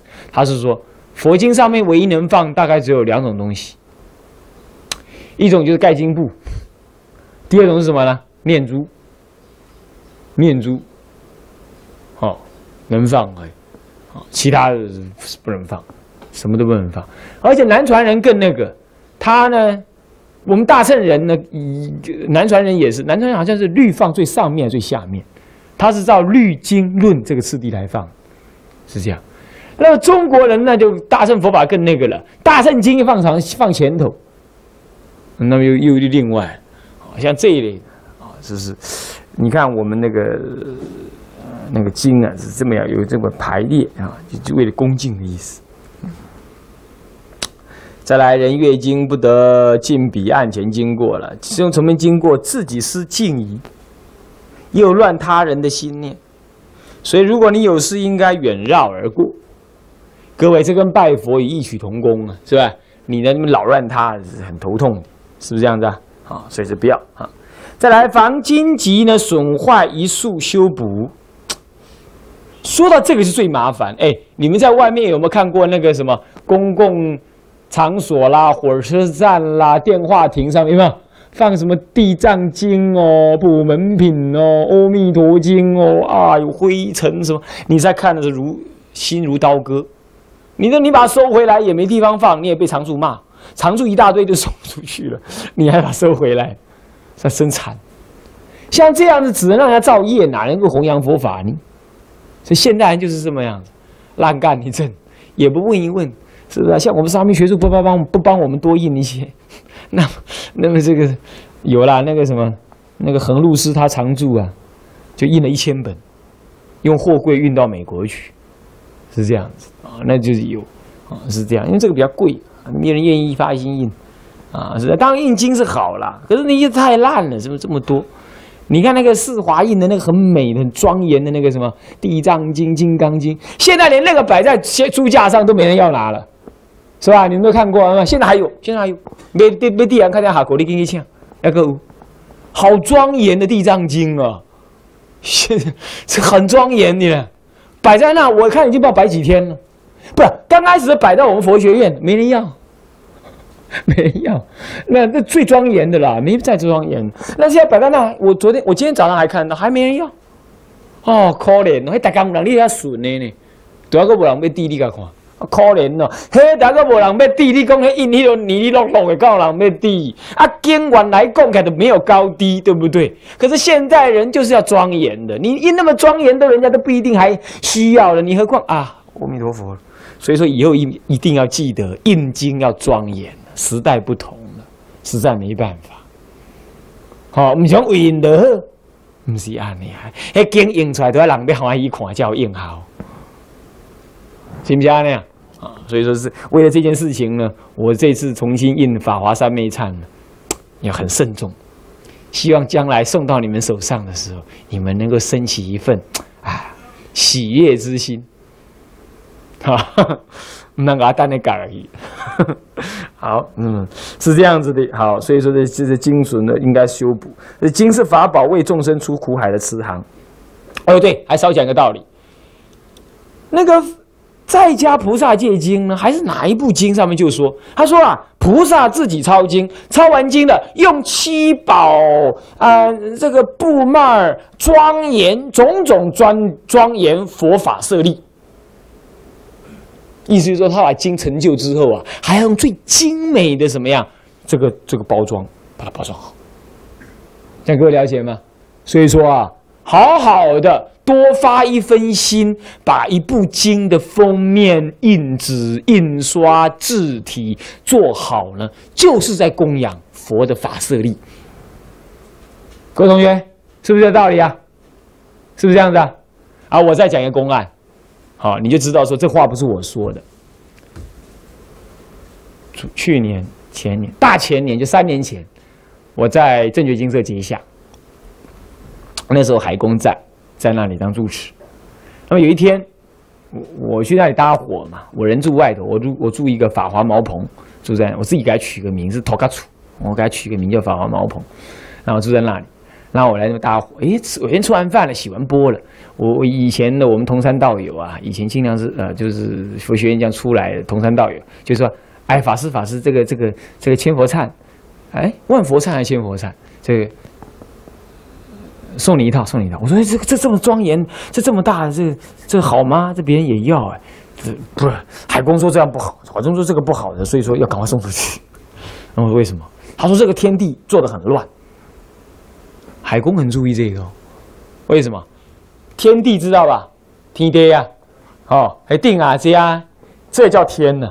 上面这这个空隙叫天呢，下面叫地，下面空的这个叫地。”天一定要多于地，而且那个比例还要恰当。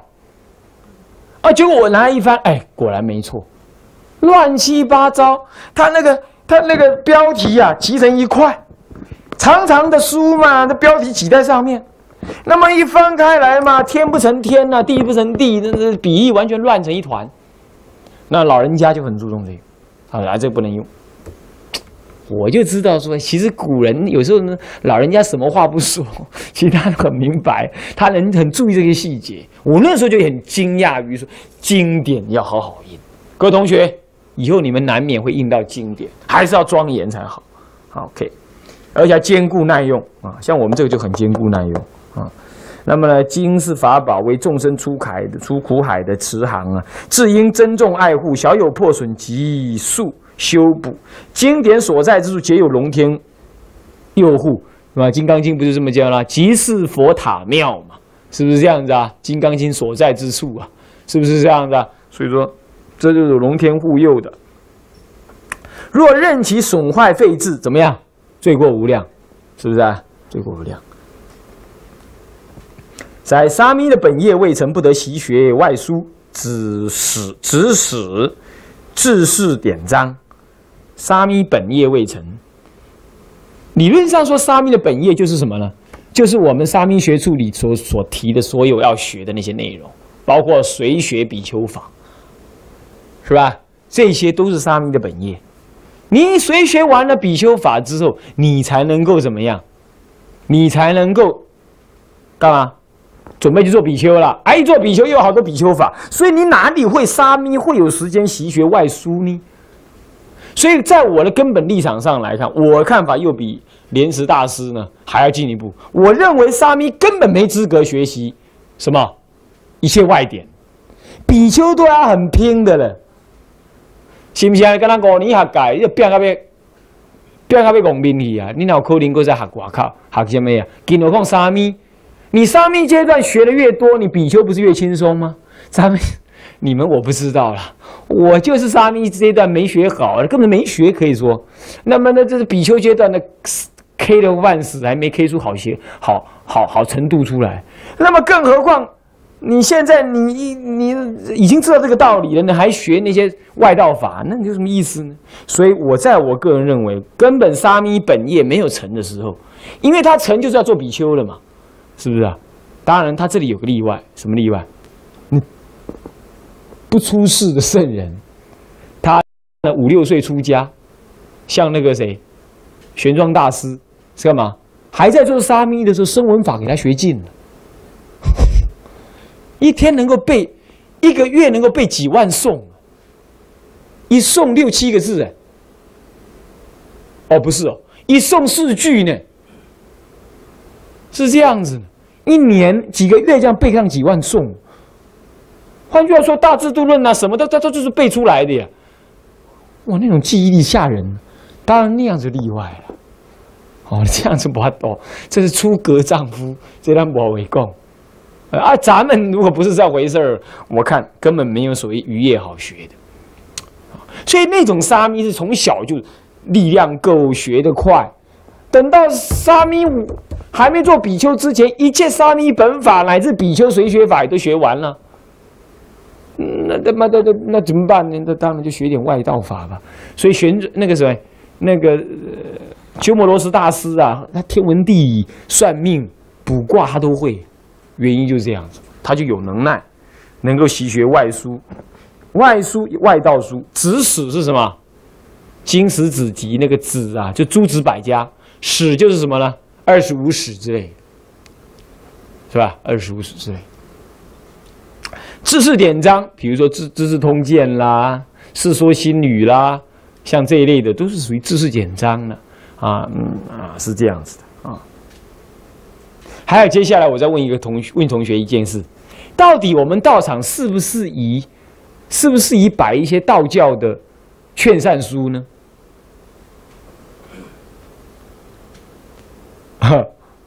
我是觉得能不摆的话，就暂缓了。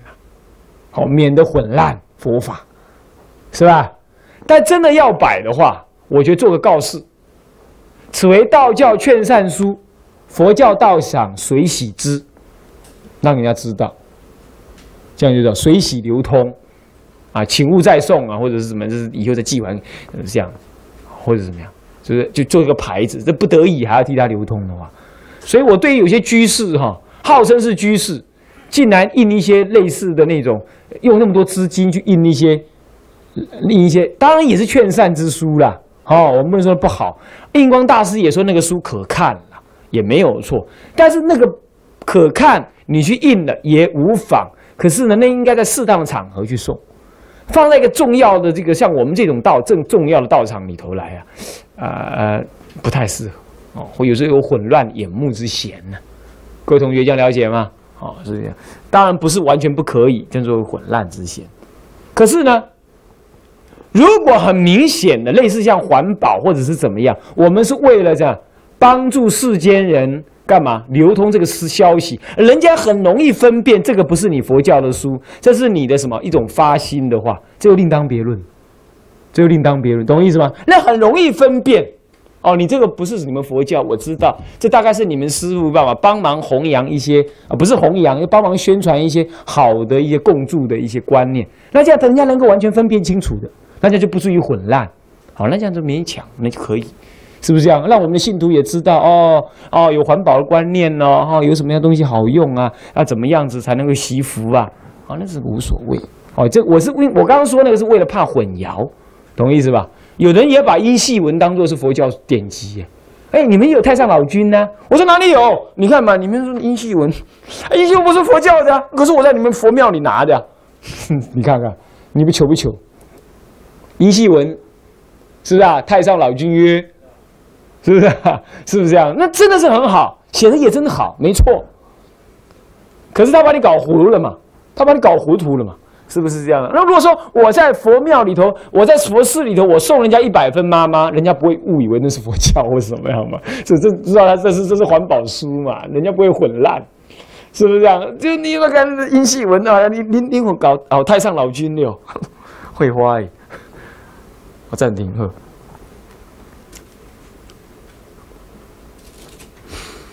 嗯，所以说这个知识典章啊，要注意啊，是这样子的。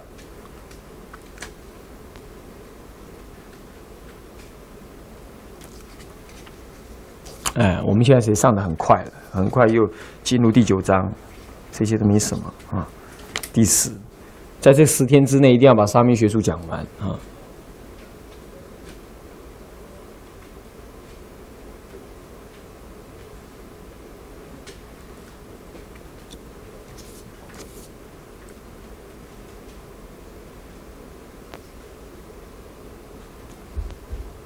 可以了吗？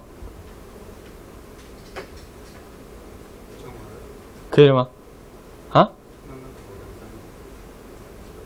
好了哈，可以了，有声音了吗？好，那么沙弥本业即是学习沙弥的十戒及沙弥威仪。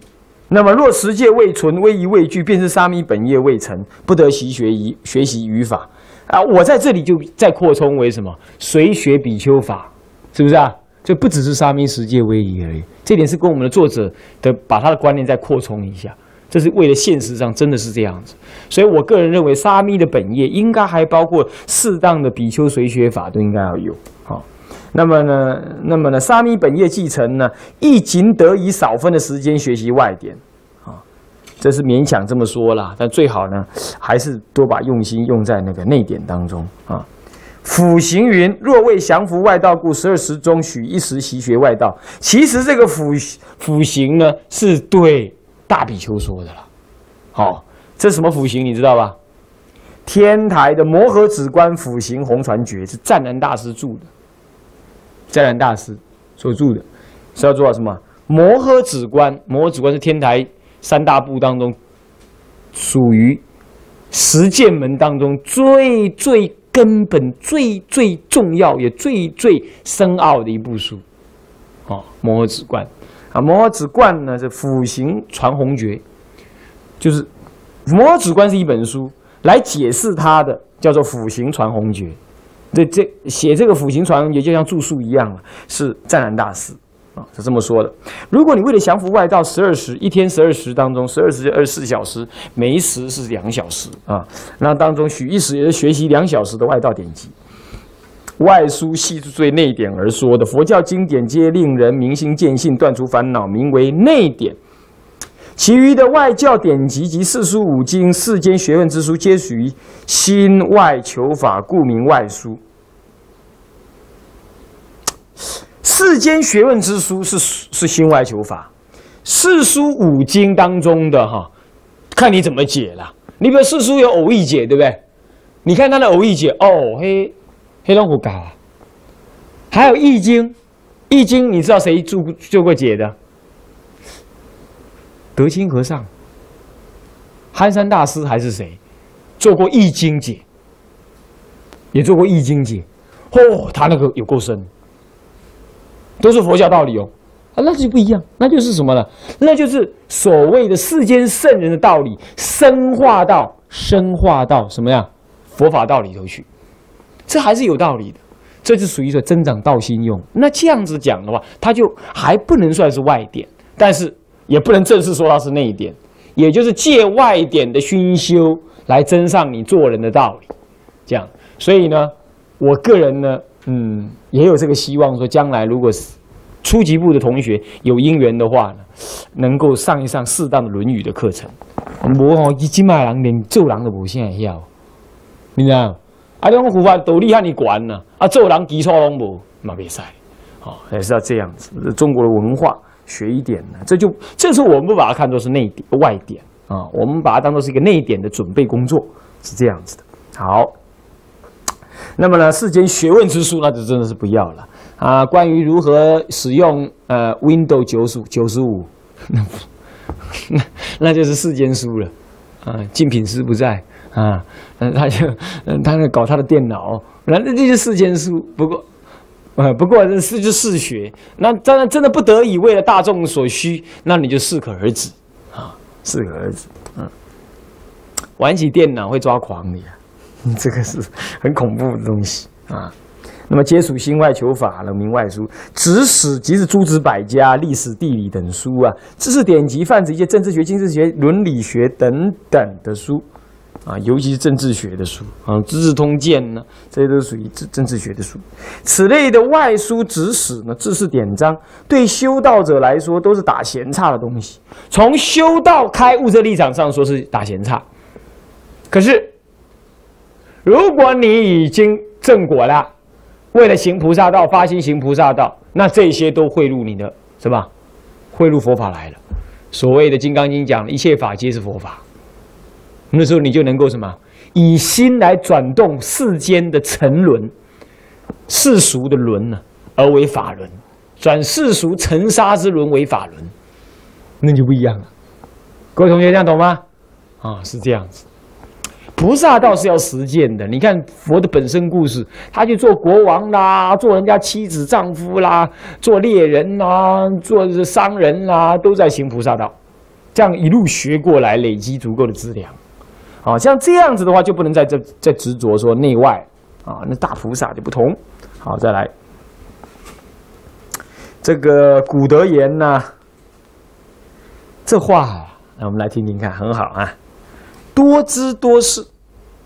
不如习义，多虑多失；不如守一，虑多智善，知多心乱，心乱生恼，自善防道。这是古德的一段话。这段话呀，我看有没有它的原文？三百八十七是不是啊？原文？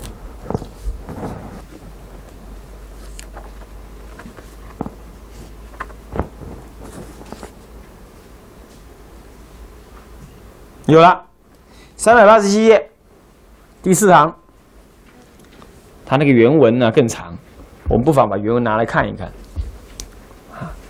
免得你们以后啊这个课程一上完了，这这本《沙弥学术》就束之高阁，将来呢放在那个书架的最下端，啊，每一次要拿上面那本书拿不到的时候，拿它当垫脚用的，那就不好了啊，不如现在看一看，那么这个这个这个。我们看那个古德云哈，多事多多知多事，你知道越多，你想法就越多，你就想要做越多事情。你不如怎么样，洗掉你那想知的那个念头，就现前所知好好用功，而不如习意，洗掉那个妄想分边的意念。再来，多虑多思，不如守一。你想要做多做事，你就种种的考虑，种种考虑就要做那个做那个，越做就越错，越多做多错，多虑就多思，这怎么会多虑多思呢？不是说事情要多考虑才能够完美吗？计划要慎思才能够完整吗？那这样多虑是少思啊，怎么会多虑多思呢？各位同学，这叫做何解释啊？啊，这是这样的，这里的多虑是指的跟我执相应。那么你越跟我执相应，你想的越多，那么你的我执就增加越多，你的妄想执越多，所以越多的过失，这是这个意思。干嘛？哎呀，这个东西应该这样卖。哎呀，出家人嘛，需要用钱，老跟人家化缘不是办法。我得要怎么样弄个办法呀？去银行里弄钱呐？去怎么借钱抵押或者做生意啊？那这就是完全非法非律，跟自我执自私相应。你这叫做多虑多思，懂吗？那不如怎么样？守一守的一个思虑的，干嘛？解脱到守一个，那么你就好了。你就想的很多，智就散，干嘛？又要想做这个，又要想做那个，不就智散了吗？那么知多心乱，知道的越多的脑袋瓜子里想的越多，那么心就越乱，心乱就生恼，心乱就不能守自己的真如自性，不能够正念提的法，不能够善观缘起因缘，因此人我是非就成生了，这就生恼。那么呢，自善防道，那自。意志里头又要做这个，又要弄那个，又要弄的，整天忙得管管转，管管转的，这一定是妨碍道业，懂吗？妨碍道业。那么呢，阴险才艺是为愚弊。哎呀，这话真是很有意思。有人说出家人要有才华才能够利益众生，在这句话来看呢，这最愚最弊的人，愚痴，而且漏略，叫做弊，差劲，愚痴，而且又什么样？不善叫做弊，出家人呢，就是要什么都不会啊！错错错错，讲不对。出家人呢，就是要什么呀？他该会的他会，但是他不会没事找事要去做些什么。这样子就是真的是大智而若愚。你说我出家人什么都不会，我又是学戒的嘛，所以我本来我就法器乱敲嘛。我们我们持戒精严就好了嘛，法器敲错有什么关系？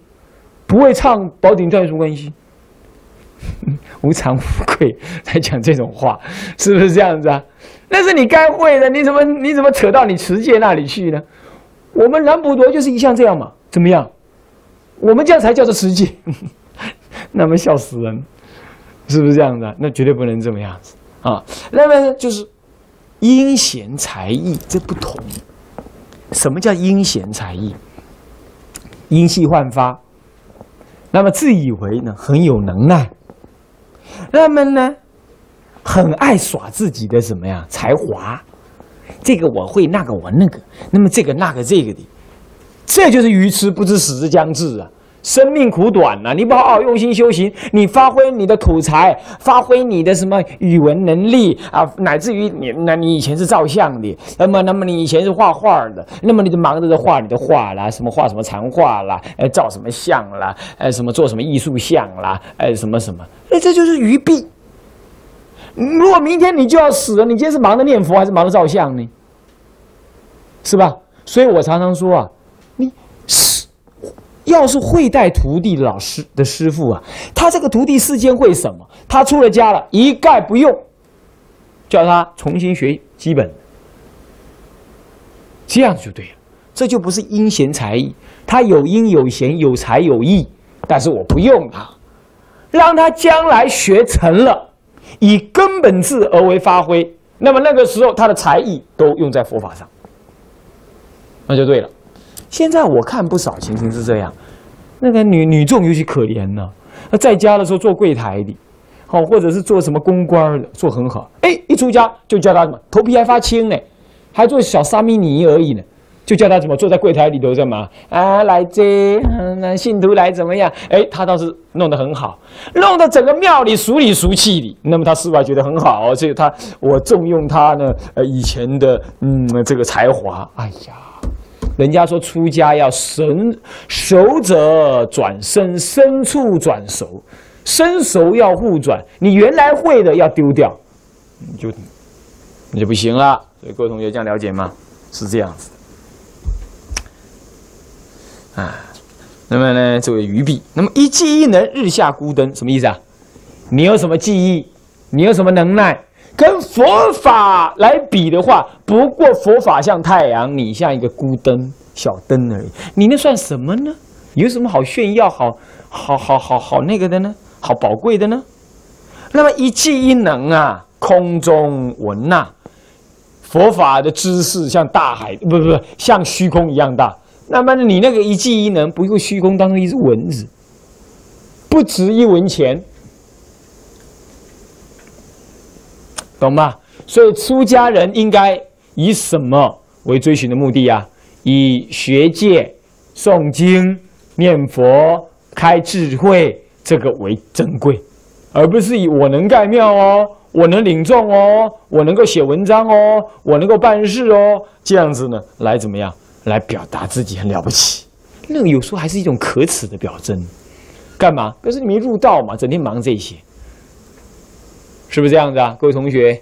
所以不要仗势自己的才华，那更不要仗势自己有什么样子的啊社会资源，这个好意义。各位同学了解吗？这是你们道心该培养的啊。来，我们来看这一页的第二行，辅行云呢？这也是辅行，他也讲了一段话，这也是全文啊。若学外书，小乘教中未服外道，十二时中许一时习外典；若大乘中初心的菩萨，一向不许。看到没有？看到没有？所以小乘法没什么大乘法的需要，他叫自己解脱就好。那么为了为了永护佛法的，外道来挑战，你就要学外道法来跟他对抗，那那个时候十二时中习一时的外道。一天二十四小时学两小时就可以，或者不应该这样讲。你一天所读书、读书用功的时间有多少？分十二分，十二分当中的一分能够学外道而已，应该是很少的哦。那么呢，这是小乘法这样子。但是如果在大乘法当中呢，初心的菩萨都不许，一向不许，何况什么沙不沙弥的，是不是啊？都不许。当然呢，也有。沙弥已经是大菩萨了，哈，这不一定啊，一般人都不许。且令进行至六根清净位，注意哈，六根清净位是三贤位的开始，三贤位了。三贤位就是所谓的慧师大师能够什么，同时有四个身体飞入皇宫，这样才叫六根清净位。这个时候可以学外道法。那现在你你都用来一挂猪杀黑掉的，无啊，无啊。它规定是这样，严格规定是这样。那么呢，因为，呃，慧师大师是六根清净位，那么呢，学学音不难，那个时候来学应该不难了，而亦未晚也，也不晚啦。那个时候你再来学不晚啦。哎，你你觉得有没有道理？有道理。那个时候事半功倍了。你现在啊，光学个电脑啊，学三年还不一定出塞呀，出师啊。啊，出塞呀？啊，嗯，那么那那么 那么以后要是你有根本智的，需要六级的，你得弄灾啊，懂吗？是这样子的。好，我们回到课本来。所以矿末法的时代啊，是第二行一百三十四四十三页第二行。那么况末法的时代，人命的短促的，若不专修正道，求证圣果，一旦无常到来，手忙脚乱，这有道理，绝对是有道理。啊，又入六道当中轮回去也，故当诫勉呐。我在这里呀，做了一个小注，我说要以方东美为例来告诉你们。方东美，你们听说过没有？啊？台大教授，哲学系的，已经怎么样了？啊，已经往生了。他呀，可以说是台湾最后一位儒者。是世界公认，日本人一万美金要买他录音带一袋。比如说他讲录音带讲一堂一学期讲下来，好说好六十呃四十袋好了，每一袋要用一万美金跟他买。日本人呢？日本人这么尊重他，黄东美先生，啊是这样。好，他是学他是后来晚年是研究佛法的。啊，因为他是哲学的人，哲学人最后一定忍不住佛法的诱惑了，你懂吧？一定爱偏的起的，对不啦？如果哲学家自称哲学家不了佛法，这种哲学家一定是三流以下的。哦，西洋人就不敢这么说。我说中国的哲学家自称哲学的，学哲学而不了佛法的根本教义，还根本教义就好了。如果连根本教义都不懂啊，我说三流开外，三流开外。那么他呢？晚年呢，很研究，啊，很研究中国的哲学，呃，中国的佛法，大乘佛法，他有他说的一套了，那也不值得什么看呢，就是是，但是他在台北台大宿舍住，晚年生大病，躺在那儿，躺在天哀，常常跟他女儿讲：“哎，你阿婆来了，哎，有谁来了？赶快去开门，哎，有谁来了？”都乱讲一通，人家知道他要死了。要死了，那么这这这怎么办呢？到了他临命终前，他讲一句话了：“哎呀，我一生研究佛，我这样研究佛学没有用，请你们带我去给广清老和尚皈依。”就这样子，担的担架，两个护士，哎，连四个人扛了担架，当时还没有车子直上承天寺的样子。我知道是四个人陪他去，有他女儿，有护士，一台救护车，耶耶，阿用斗哎，上去连上去那个成天禅寺，广清老和尚给他皈依，临终前起大后悔，知道这些都不管用，他连皈依都不皈依，好了，事到临头，总算他浪子回头了。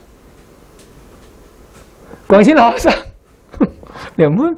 阿弥陀，阿弥陀，什么拢唔知，啊，啊唔捌你看你看经，啊唔捌看你看经，啊，伊也叫人卖头而已，啊，啊什么拢免，就是做高工，安尼尔，结果这种这种国际级的的的的哲学家，临终还是乖乖的被扛过去，干嘛做三皈依？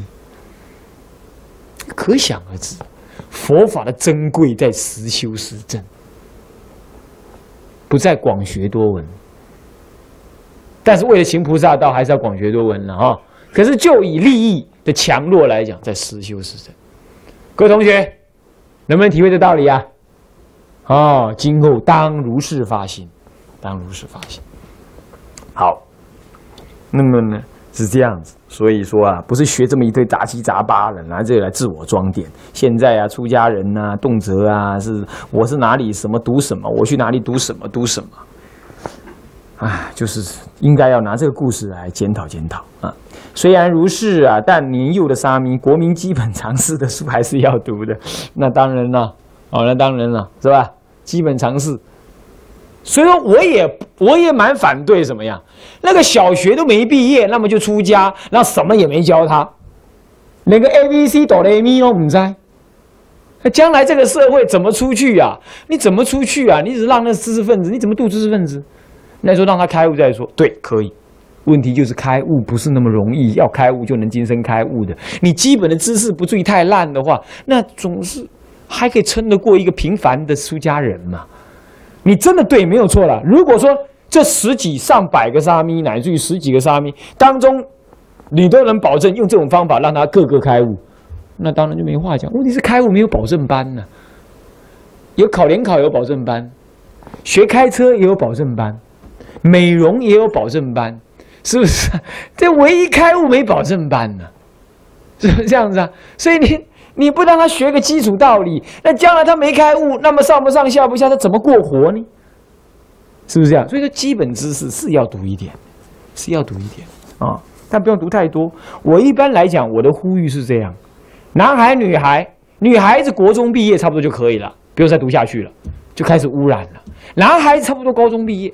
要出家，OK 啊，也是啊。女孩子如果读了高中去啊，污染就厉害了，女人态就重了。那么在差不多在国中以下，那女人的习性还不太严重，那么就学出家，学出家法那可以啊。不过女人是八变的，那么也是麻烦，也是不是容易的啦。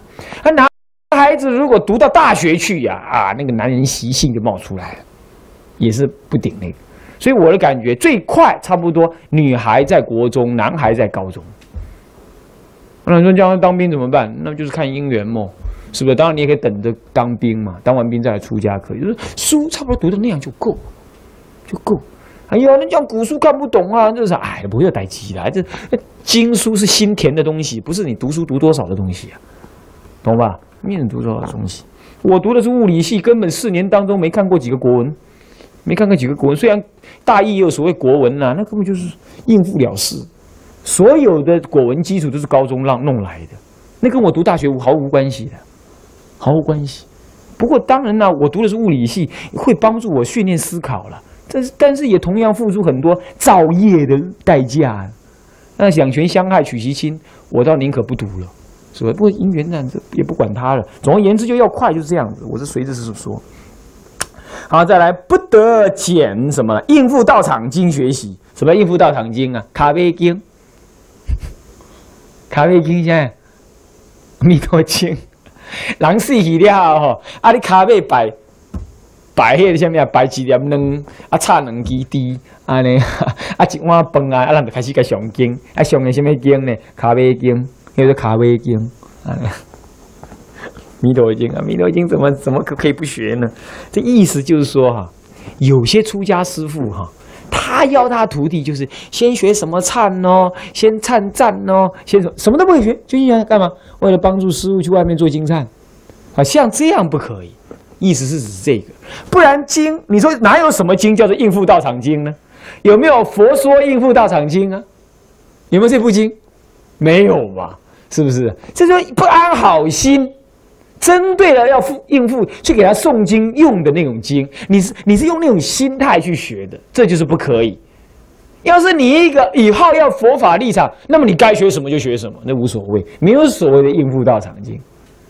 你要懂他的精神意思是这样，这样懂吧？哦，啊，经拢是共款的啦，无迄个地藏经在家人袂使上的啦，上的是伊咩卡瓦来，哦，迄个代志。佛祖当初讲地藏经，讲了，你最后加一句，你给他想看麦，想看麦，迄鬼人也无来找你，我才输你。佛祖干嘛你讲？干嘛你想？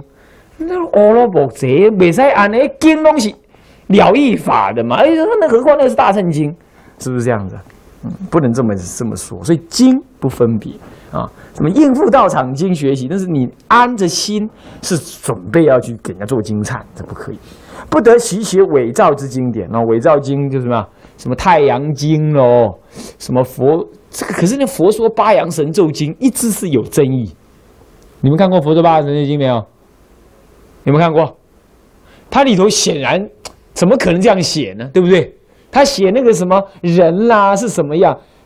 那佛是印度的人，他是拼音拼音的范文的，怎么会跟人的中文字有关呢？他讲解道理的时候，竟然是用中文字来讲解。那很显然，很显然应该是里头中国人凑出来的。佛说八样的，你藏经有也有啊，有这个啊，还有血盆经，这现在就差不多少了。还有什么太太什么经的哦，还有哎五子啊，对佛呃五子画胡胡子画佛经，胡子画佛经好像是道家的伪经。道家的伪经，我佛家的伪经是什么？什么画胡经呢？也有啊，是吧？也是，他把列入仪尾部里头去。仪尾部你查一下，就这类经。还有那个高王什么观音经，高王观音经，那事实上人家的历历历都算它是伪经的。不过照样在流通，流通还蛮广。高王观音经，还有什么观音延命经这一类的，好像都有仪伪的嫌疑。哦，还有一位嫌疑，好好就这样子了，知道了哈。好，OK，好，再来，这个不得习学伪造经，那不得习学什么？宣捐宣卷打记，这就是什么？这就是什么了？你们你们做过金灿有没有啊？不好意思，记者，你们唱过，你们你们唱拜过一部叫做。金刚宝卷、金刚对卷的没有？没听过。金刚宝忏，金刚宝忏当中把《金刚经》割截开来，里头插入佛号，对不对？它像这个就是宣卷，宣卷打记的一类。好，他把经文割裂开来。好，虽然他没有断章取义的，他还是《金刚经》的，可这样不太适合。有人说这样是不好的，所以这个经。我不知道在印光大师当的文钞还是哪里看到，他说这个不适合学，哦，是这样子。宣卷打记呀，什么叫打记呢？就唱那个记子，然后呢边打那个木鱼啊，啊是这样子。那么宣卷，这是现在少了啊，就是唱那个文的时候呢很优雅，但是只是在那里唱，让在家人听得欢喜，也是属于拜金忏的一种啊，哦，金忏的一种，这样子好。那么应付经及时下的一般的应付声，又名经忏声，流行诵经，流行诵经之经，流行礼诵之经忏及水陆科仪等等。其实这个啊，都是国师造的。水陆科仪谁做的？我讲过嘛？谁？天台的历史学者，明朝的制盘大师。水陆科仪，那文具真美啊，不得了。哦，还有那个咽口，也是，也是，也是都是很好的。所以这个后来给人家七弄八弄变成商业行为，商业行为，那是从元朝开始，一直到明朝大兴，就金灿就这样一路下来了，到到先天，好四五百年。那么呢，须知如来所说的经典，都是要人习学受持自利利他。经云不得者，过在一个简字，简字就特别特别为了应付经忏而去学的啊。所以经没有好坏啊。出家本是为了求了生死啊，弘法济世，自应习学，自应依照学习经典之次序，如法受持，勤求礼物，能持一句半记，便能受用无穷，对不对啊？所以说，贵在开悟，不在怎么样。不再多闻呢。那么何况多爷若以图利之心专拣应付道场的经典，只恐怕无始的习气现前，为利而忘义，只为了赚钱。哇！你讲哦，赶紧参，你那是聊落去啊，那个手都瞪矮人，真少了。迄钱有岁岁，你的生活你都付入去啊，你知道？真少，但是有影有啦，但是有影有啦，嘛是有啦，吼，咱卖讲些人。哦，咱咱活学毛人啊嘞，哦，来嘛嘞，诶诶安尼，还是真好，这就是浪子回头，大家人拢个赞叹，哦，安尼。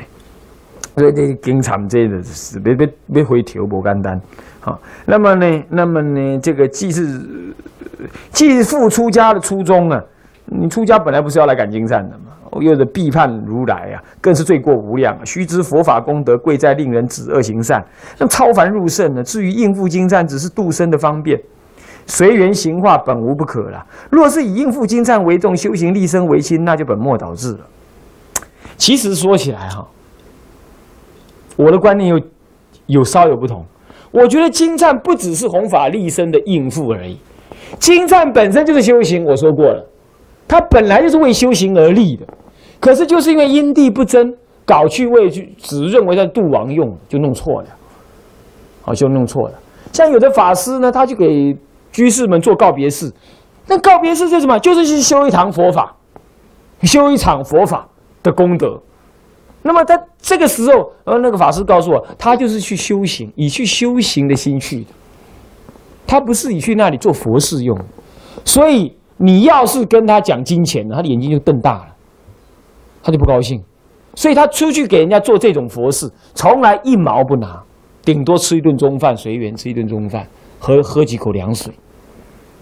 那这样绝对跟金藏毫无关系了。黑阿哥不是讲水你包瓦做哦。唔是哦，是你卖加工的包的代志。你要加工的包的代志，我来跟你卖，我来跟你输赢啊！你不要跟我谈钱。你那安尼哦，我拢不爱来。你来讲啊啊的，我欢喜我来，我是来跟你结缘的。安尼，拢卖加工钱的代志。所以他每一次去都是一大堆在家居士去。台湾人是最，中国人是最最忌讳死亡，对不对？哪有那个没事干去参加人家的告别式，还是在那里诵经的，帮还帮忙抬棺材呢？有的是这样子的。而且那些居士有的都是什么呢？都老板呢，老板、家庭主妇、老师这样子的呢，怕是一波腿容易走。为什么？他把它当做修行，他把它当修行，这就不同了，这决然不同。所以说，金灿还不一定是拿来应付用，也不是拿来就是所谓的度众生。那有时候根本就是你自修用的。所以我一再的在法华。法华三昧忏的那个集注当中的序文当中啊，我写了一篇很长的序啊，就一再的申辩这个事实：中国人的乃至出家人乃至出家的学者，他不愿意感经忏，呵斥感经忏，连带的也呵斥忏法，这是不对的。忏法有它，忏法是中国佛教修行一个非常重要的特殊点，而且非常善巧乃至能开悟的一种修法。密教当中也有。而且密教的一切世修法都是中国的忏法的一类，相等的。所以各位同学，今后你们要有因缘修忏法，请注意我这个根本观念。你去用这个观念去面对忏法，一定获益匪浅，一定获益匪浅。哦，我讲这话绝对没有任何恶意或任何意思，这真正我体会是这样。我去研究它了，我感觉真是这样。好，那么就这样了。唉，所以呢，出去念经绝对不是去应付或者是收红包，就是去修行，就是去利益众生啊。那么伪造经典，凡是无三法印以及一法印的经典，皆是伪造的，如《瘦身经》《北斗经》《金刚传》转啊。那么《血盆经》的血壶忏，你知道什么叫血壶忏吗？地狱里头有一个血池。啊！有人看到那个血池的，或者不知道什么七龙八弄，就弄出这个忏出来，啊，是这个血壶忏，以及宣卷打记等诸书，啊，打诸书皆是应付生伪造图利的，正信佛子不可学习。好，再来不得习学命书、相书、医书、兵书、卜筮书、天文书、地理书、图签书，乃至炉火黄白鬼神。什么神鬼奇怪符水等书，哇！这挂主管真是顾名思义，定了差不多怎样了？哦，啊，那要改水吼，那上面学出来这一堆啊！哦，你应该该去看，今嘛无时间，我还讲讲话呀！啊，那么什么呢？命书、相书，皆是论断人的妖兽穷通之书，有主人改恶行善之嫌，因之天有可相之。灾异，人有可转之什么什么福祸福，古匪进宫，匪丞相还文熙之代。那么呢，转平妖而福寿，便是一阵。医书虽可救人济世，然日长日常学习呀，呃，这么防心乱心防盗，若学习不精，反受其害。有曰：庸医杀人，故不可学。这段啊，这个这个黑字没什么好说，我们就看看这个命书跟相书，其实命书相书是有点不同。命书是什么？子平八字，子平八字，这就是命书。相书是什么？手相、骨相、面相、身相，啊，这些相，懂吗？啊，比如有人拿三角三角脸啦，四方脸啦，手是什么样的？这手纹怎么样？这是相书。命是以你的八字，好来弄，哎。紫微斗数是用八字推的，对不对？这都是属于八字，这就是命数啊。这两个不同，但是呢，结论是差不多的啊。得到的结论差不多，皆是论断人的什么呢？夭寿寿夭穷通，活的年龄长短啦，或者生活一生际遇如何啦。这个呢，有阻挠人改恶行善之嫌。这要看人了，但一般人都是这样。哎呀，我命中注定没有了，那我就算了吧，我就怎么样啊？那么我就如何如何了？就这样的消极，不用功修行，啊，这样啊，那么就是以为恶者恒恶，善者恒善。因之啊，怎么样？天有可相之灾异，相是什么意思啊？是什么意思啊？就是可以祭祀的，可以透过祭祀祈祷啊，然后怎么样？然后能够把灾变消除，那么人有可转之祸福，那么你有祸有福啊，你本来有祸，你好好修行，好好的这个这个这个这个用心，你就转祸福，了凡四训是吧？了凡四训就是这样子啊。那么古时候的匪进公这个人呢，他人家送他这个什么呢？送他这文熙之带啊，这这个袋子啊。上面是用那个犀角所做成的纹，这个衣带啊，结果他不敢受，不敢受，就还人家。那么这一还了之后呢，他本来贫穷，那贫穷归贫穷啊，他不愿意。结果因为这样不受这种类似这种贿赂或不义之财啊，他就怎么样呢？他就把贫穷跟妖寿的命全部改为福跟寿啊，便是一阵。这个我。那个主云长老就是我的师公啊，他呢三十多岁来台湾当兵了，就是还俗去了，知道还俗啊。我遇难员不算还俗，那就是说换了身服也不算还俗，遇难员不算啊。遇难员把袈裟脱下来不算啊，他这算是遇难员嘛？政府一定要他脱嘛，不然不载他来台湾。那么呢，他就穿成军服。在军中就布道了，也专当好像军医院里头，住在那个敖立后里后里马场那一带，好像那里有医院还是怎么样？怎么？然后他就在那里弘法利生啊，怎么样？那后里呢，曾经有大地震过，死死伤不少人。他那个时候是个穷阿兵哥，他当时什么李广慈喽，就是现在的广慈法师喽。啊，什么星云法师当时那就是才刚刚刚很年轻，三十几岁这样，我们这个年龄这样啊，他那个时候主云法师出道很早，在台湾成名非常早，那都比星云法师他们早的早的太多，很多的弘法利生的办法都他老人家想出来，唱歌啦，环岛环岛布教啦，骑着脚踏车啦，渡渡山包啦，那么渡酋长啦，都他老人家干的，他真的是。打前锋，敢跟那个基督教徒辩论，而且还跟他较正，然后还在这么台南公园当中，当时没有任何的什么，没有任何的广告啦、电视啊什么的，三千、四千、五千人来听，嚯嘿，有够轰动，那转台湾都轰动啊，庆噗噗啊呢，然后他老人家呢，在三十多岁的时候，还在当军中的所谓部教师，其实没有这个名称呢。军中哪里有部教师？那个时代哪里有？这这么就我们自己这么称呢？啊，没关系，这这个跟他跟他的做法无无无无无损。那么他呢，就用了一个心改他的命。这都是私人消息哈，我讲给你们听才有意义啊。这你们外面看不到。他呢，就看到了后里曾经这么灾变过，没有做超度，他就去找什么星云法师喽，现在星云大师了啊，呃，广慈喽，还有好几位广慈法师啊，有好几位。那么呢，他自己出钱，那么请他们来一起怎么样？有有没有给他们钱？我不知道，就做了咽口还是什么，就对着十方孤文这么军医院那里，就在军医院那里搭起棚子，就这么做。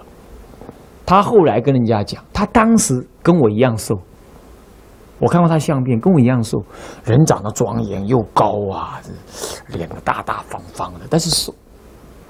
从那次做完，很怪，喝水都长胖，就一路就到了后来，就是你看到那个相貌，那个圆满相，一辈子就这样没变过，但他临终还是那个相，他没有瘦过，哎，很怪。是这样的，他那个相貌真是庄严，那是再来人的相貌。你看堂堂那个样子，哎，这是不改了吧？所以西方有句谚语啊：三十岁啊，四十岁之前的相相貌是你爸妈要负责，四十岁之后要你自己负责。讲是这么讲，其实都是你自己负责了，对不对？那么你看改了，所以贵啊，出家人的命是算不准的。出家人命要是给人家算准了，表示你没修行。对不对？才会跟人家算准。那三年前跟起码都没变，没进步，还互动白脸呢，对吧？那就不行啊。所以说，出家人当然这样，古人也是这样，好人修行的人也是这样。了凡四训，这个我不用说了，这你们都知道，对不对？是不是这样？那么医书虽可以救人济世啊，那么你的学医不精啊，反而害死人，太多太多了啦，太多太多了。这又是一个故事。干嘛呢？这个讲出名字不好听了。我老菩萨呢生病了，那时候生病嘛，病重，呃，送到那个北部啊，呃，送到那个桃园去给一个医生医。那个医生，我们相信他的医术。后来医的医的，那么就中间跟他稍熟了一点，他就跟我讲多一点话。他说啊，昨天呢，从啊，我们不要讲哪里了，就是反正北部的某一个大医院，非常大的医院，送来了一个医师，送来一个学生，呃呃，那年轻人。说什么他是得肺癌第三期了，结果他一把脉说那不是什么肺癌，那不过是重感冒的累积而已，三铁药用给他得，但是来的时候是怎么样？躺在担架上面吊着点滴，要死不活的干嘛？他说那不是那样，那是被吓死，那不是被医，那那甚至都不是被医死，那就是被吓死的。跟他讲说是肺癌三期了。结果他一把脉呢，不过 不过是什么呢？重感冒的累积几次重感冒，这样肺衰竭如此而已。几铁药都好用，给得啊！你看看，这不是庸医误人吗？那还是超大医院，不要去猜哪里了哈。嗯，就是那，就是反正医院大医院就对。所以有时候，当然这也是他的命了。不过你就可见了，这个有时候这个庸医还真是糗大了，是吧？某事就也是，那么刚才都要好运，无很惊嘛，惊死。是啊，还无一个是嘛，讲个是，对吧？啊，庸医误人。好，那么兵书是论杀伐征战之事，非沙门所宜，对呀。各位啊，乃至下棋都是一种杀伐心，都不适合，何况看兵书，那起凶残之心呢？是不是啊？不闻以外道恶人以谤佛阴身，所谓谤佛者，还包括什么？毁犯佛戒嘛。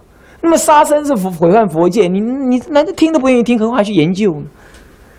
嗯，好，那么这个人非三门所指，在普世书战宴吉凶，然祸福无门，为人自招，何处普耶？当然，这是这是作者方便这么说啦。对凡夫来讲，占卜确实是真有那个。为什么？凡夫不修命不改运嘛，既不修命也不改运，那么运以前这样就这样，那当然算得出来。就好像火车曾经开过哪里。那一定记录的在，记录得到的嘛，就是你的脸、你的八字记录的这些资讯嘛，data。是不是这样子啊？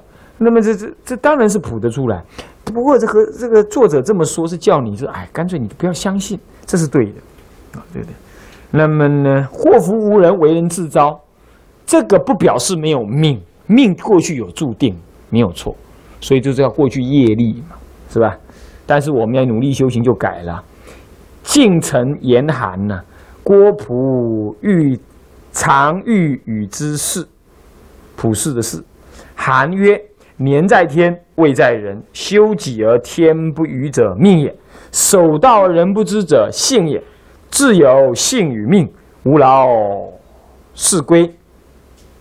我知道你说过了，普世啊是用龟，普在龟壳上面裂痕，那么世呢是拿那个骰子或铜板啊，在龟壳里头这样夸夸夸夸夸夸夸夸夸夸，这样吼丢出来，看它是什么样，懂吧？空龟壳，拎拎把给包给孤寡了啊？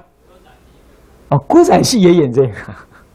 我是亲自去看，我们家乡啊，北头还有这个东西，不孤寡都是安呢，啊啊，哭哭哭，哭起来这样子。那么呢，这个东西啊，就是这吴老夫子这个话懂不懂啊？我们解释啊，简单解释一下啊。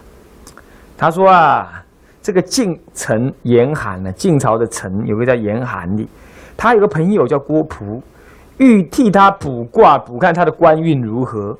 啊，结果呢，他就这么说，他韩就这么说，他说：“我呢，生年如何？我活多久啊？寿命有天呢，我活多久，老天准备好了。那么呢，我的位在别人，在别人对我的看法。如果我今天修自己，而老天不给多给我活几年，这是我的命该如此，这宿命观呢？啊，其实也不应该这么讲。”哦，是不是这样的？那么当然也是这样子啊，这是本来命中注定嘛啊。那么守道人，守道人不知者，我遵守做人的道理，乃至儒家所学来的一些道理。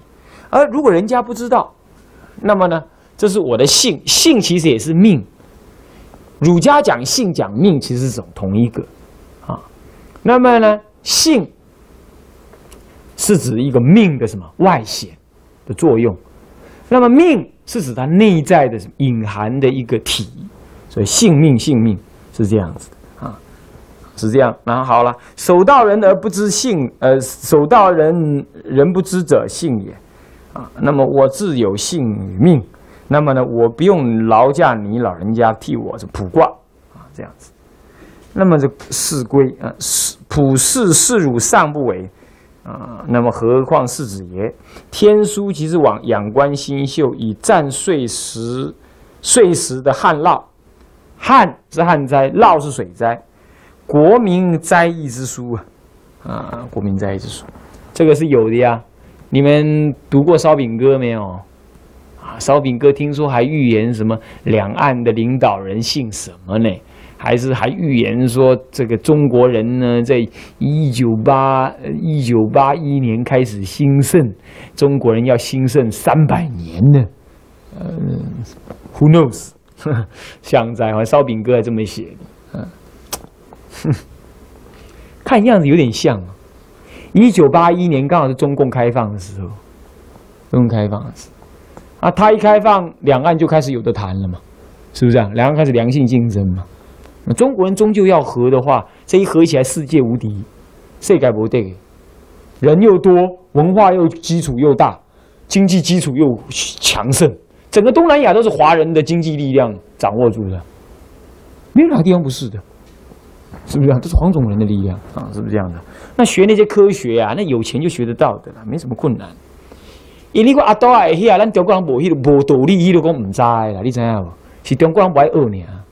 没有道理都不知道的，懂吗？啊，是这样子。好，不管了，反正这就是国民在意之书。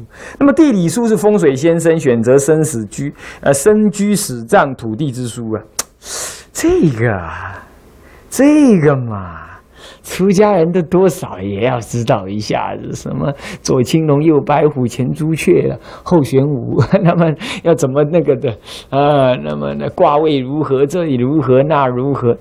这个《阿伽曼尊者传》里头不是也讲到了吗？他到某个地方去住三天，觉得不好，他就换地方。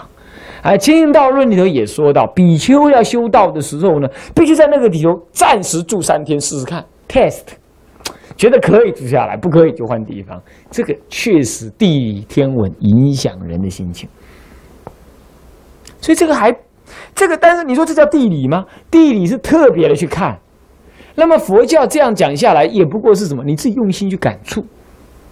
可是按照古大德，他就不是这样，他很注重。你比如虚云和尚啊，要中心南华的时候，他就说，他就看，他就上山去看。哎呀，这个水对冲了山门不行，要改水道。那么呢，那个象山呢，南华是象山，象的鼻子被切断了，得重新立塔把它补上去。那他很注重这个，虚云和尚很注重这个。那么你们呢？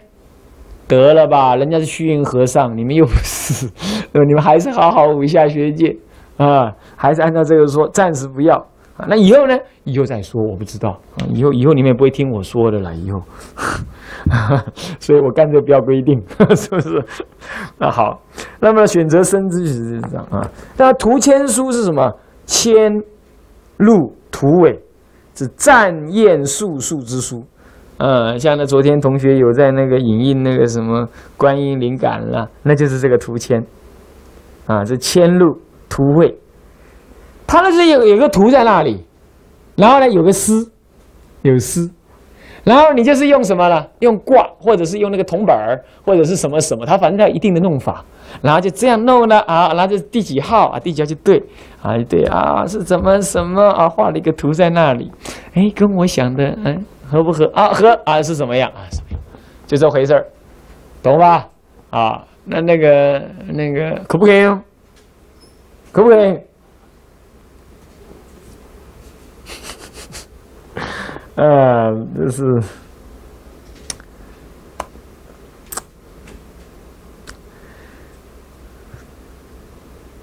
这个就是这样子了。基本上我们还是自己用功，真的有不觉。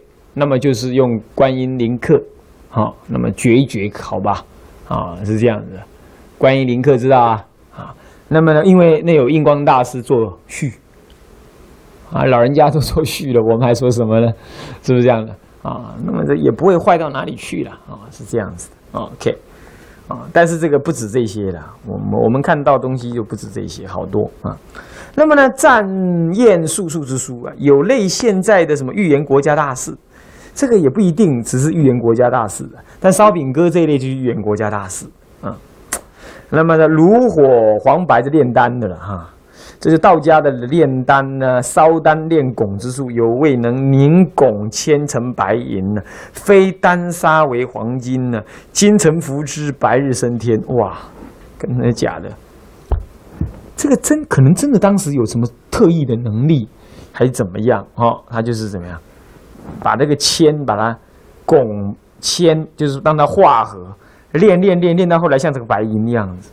非丹砂，非丹砂为黄金，这个就大概就是所谓的将那个红色的沙呀，怎么样去去去去去去滚啊，去弄啊，把它烧成这个金。那么这个白银也好，金也好，炼成之后就把它吃下去，白天可以就像升天了，羽化升天。升天，我看就吃屎了嘛，就升天了，应该是这样啊。嗯，怎么？习呢？汉武帝以及唐武宗信其说了，服后皆中毒而死。对啊，那叫升天了嘛？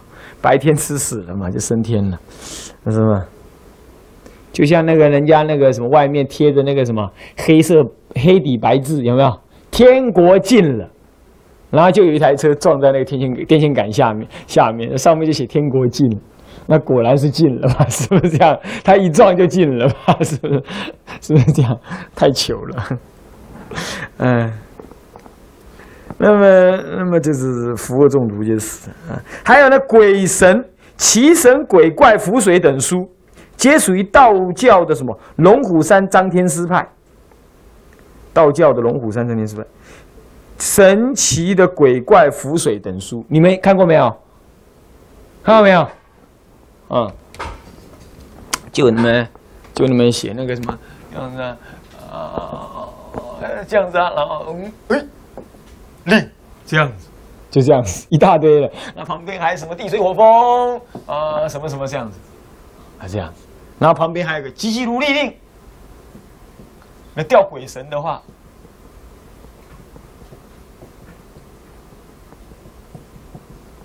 急急如律令。写的时候啊，就要讲，必须怎么写？必须要讲很专心，一言不起。然后朱砂笔拿起来，写在黄纸上面，一笔全部写下来。还没动念的时候，笔翻过来，咔一道，OK，啊，必须这样。会写的人呢，就是写的很好，嗯，他会写。那么我就有一本，不好意思，那人家给我的啦，我不会用了。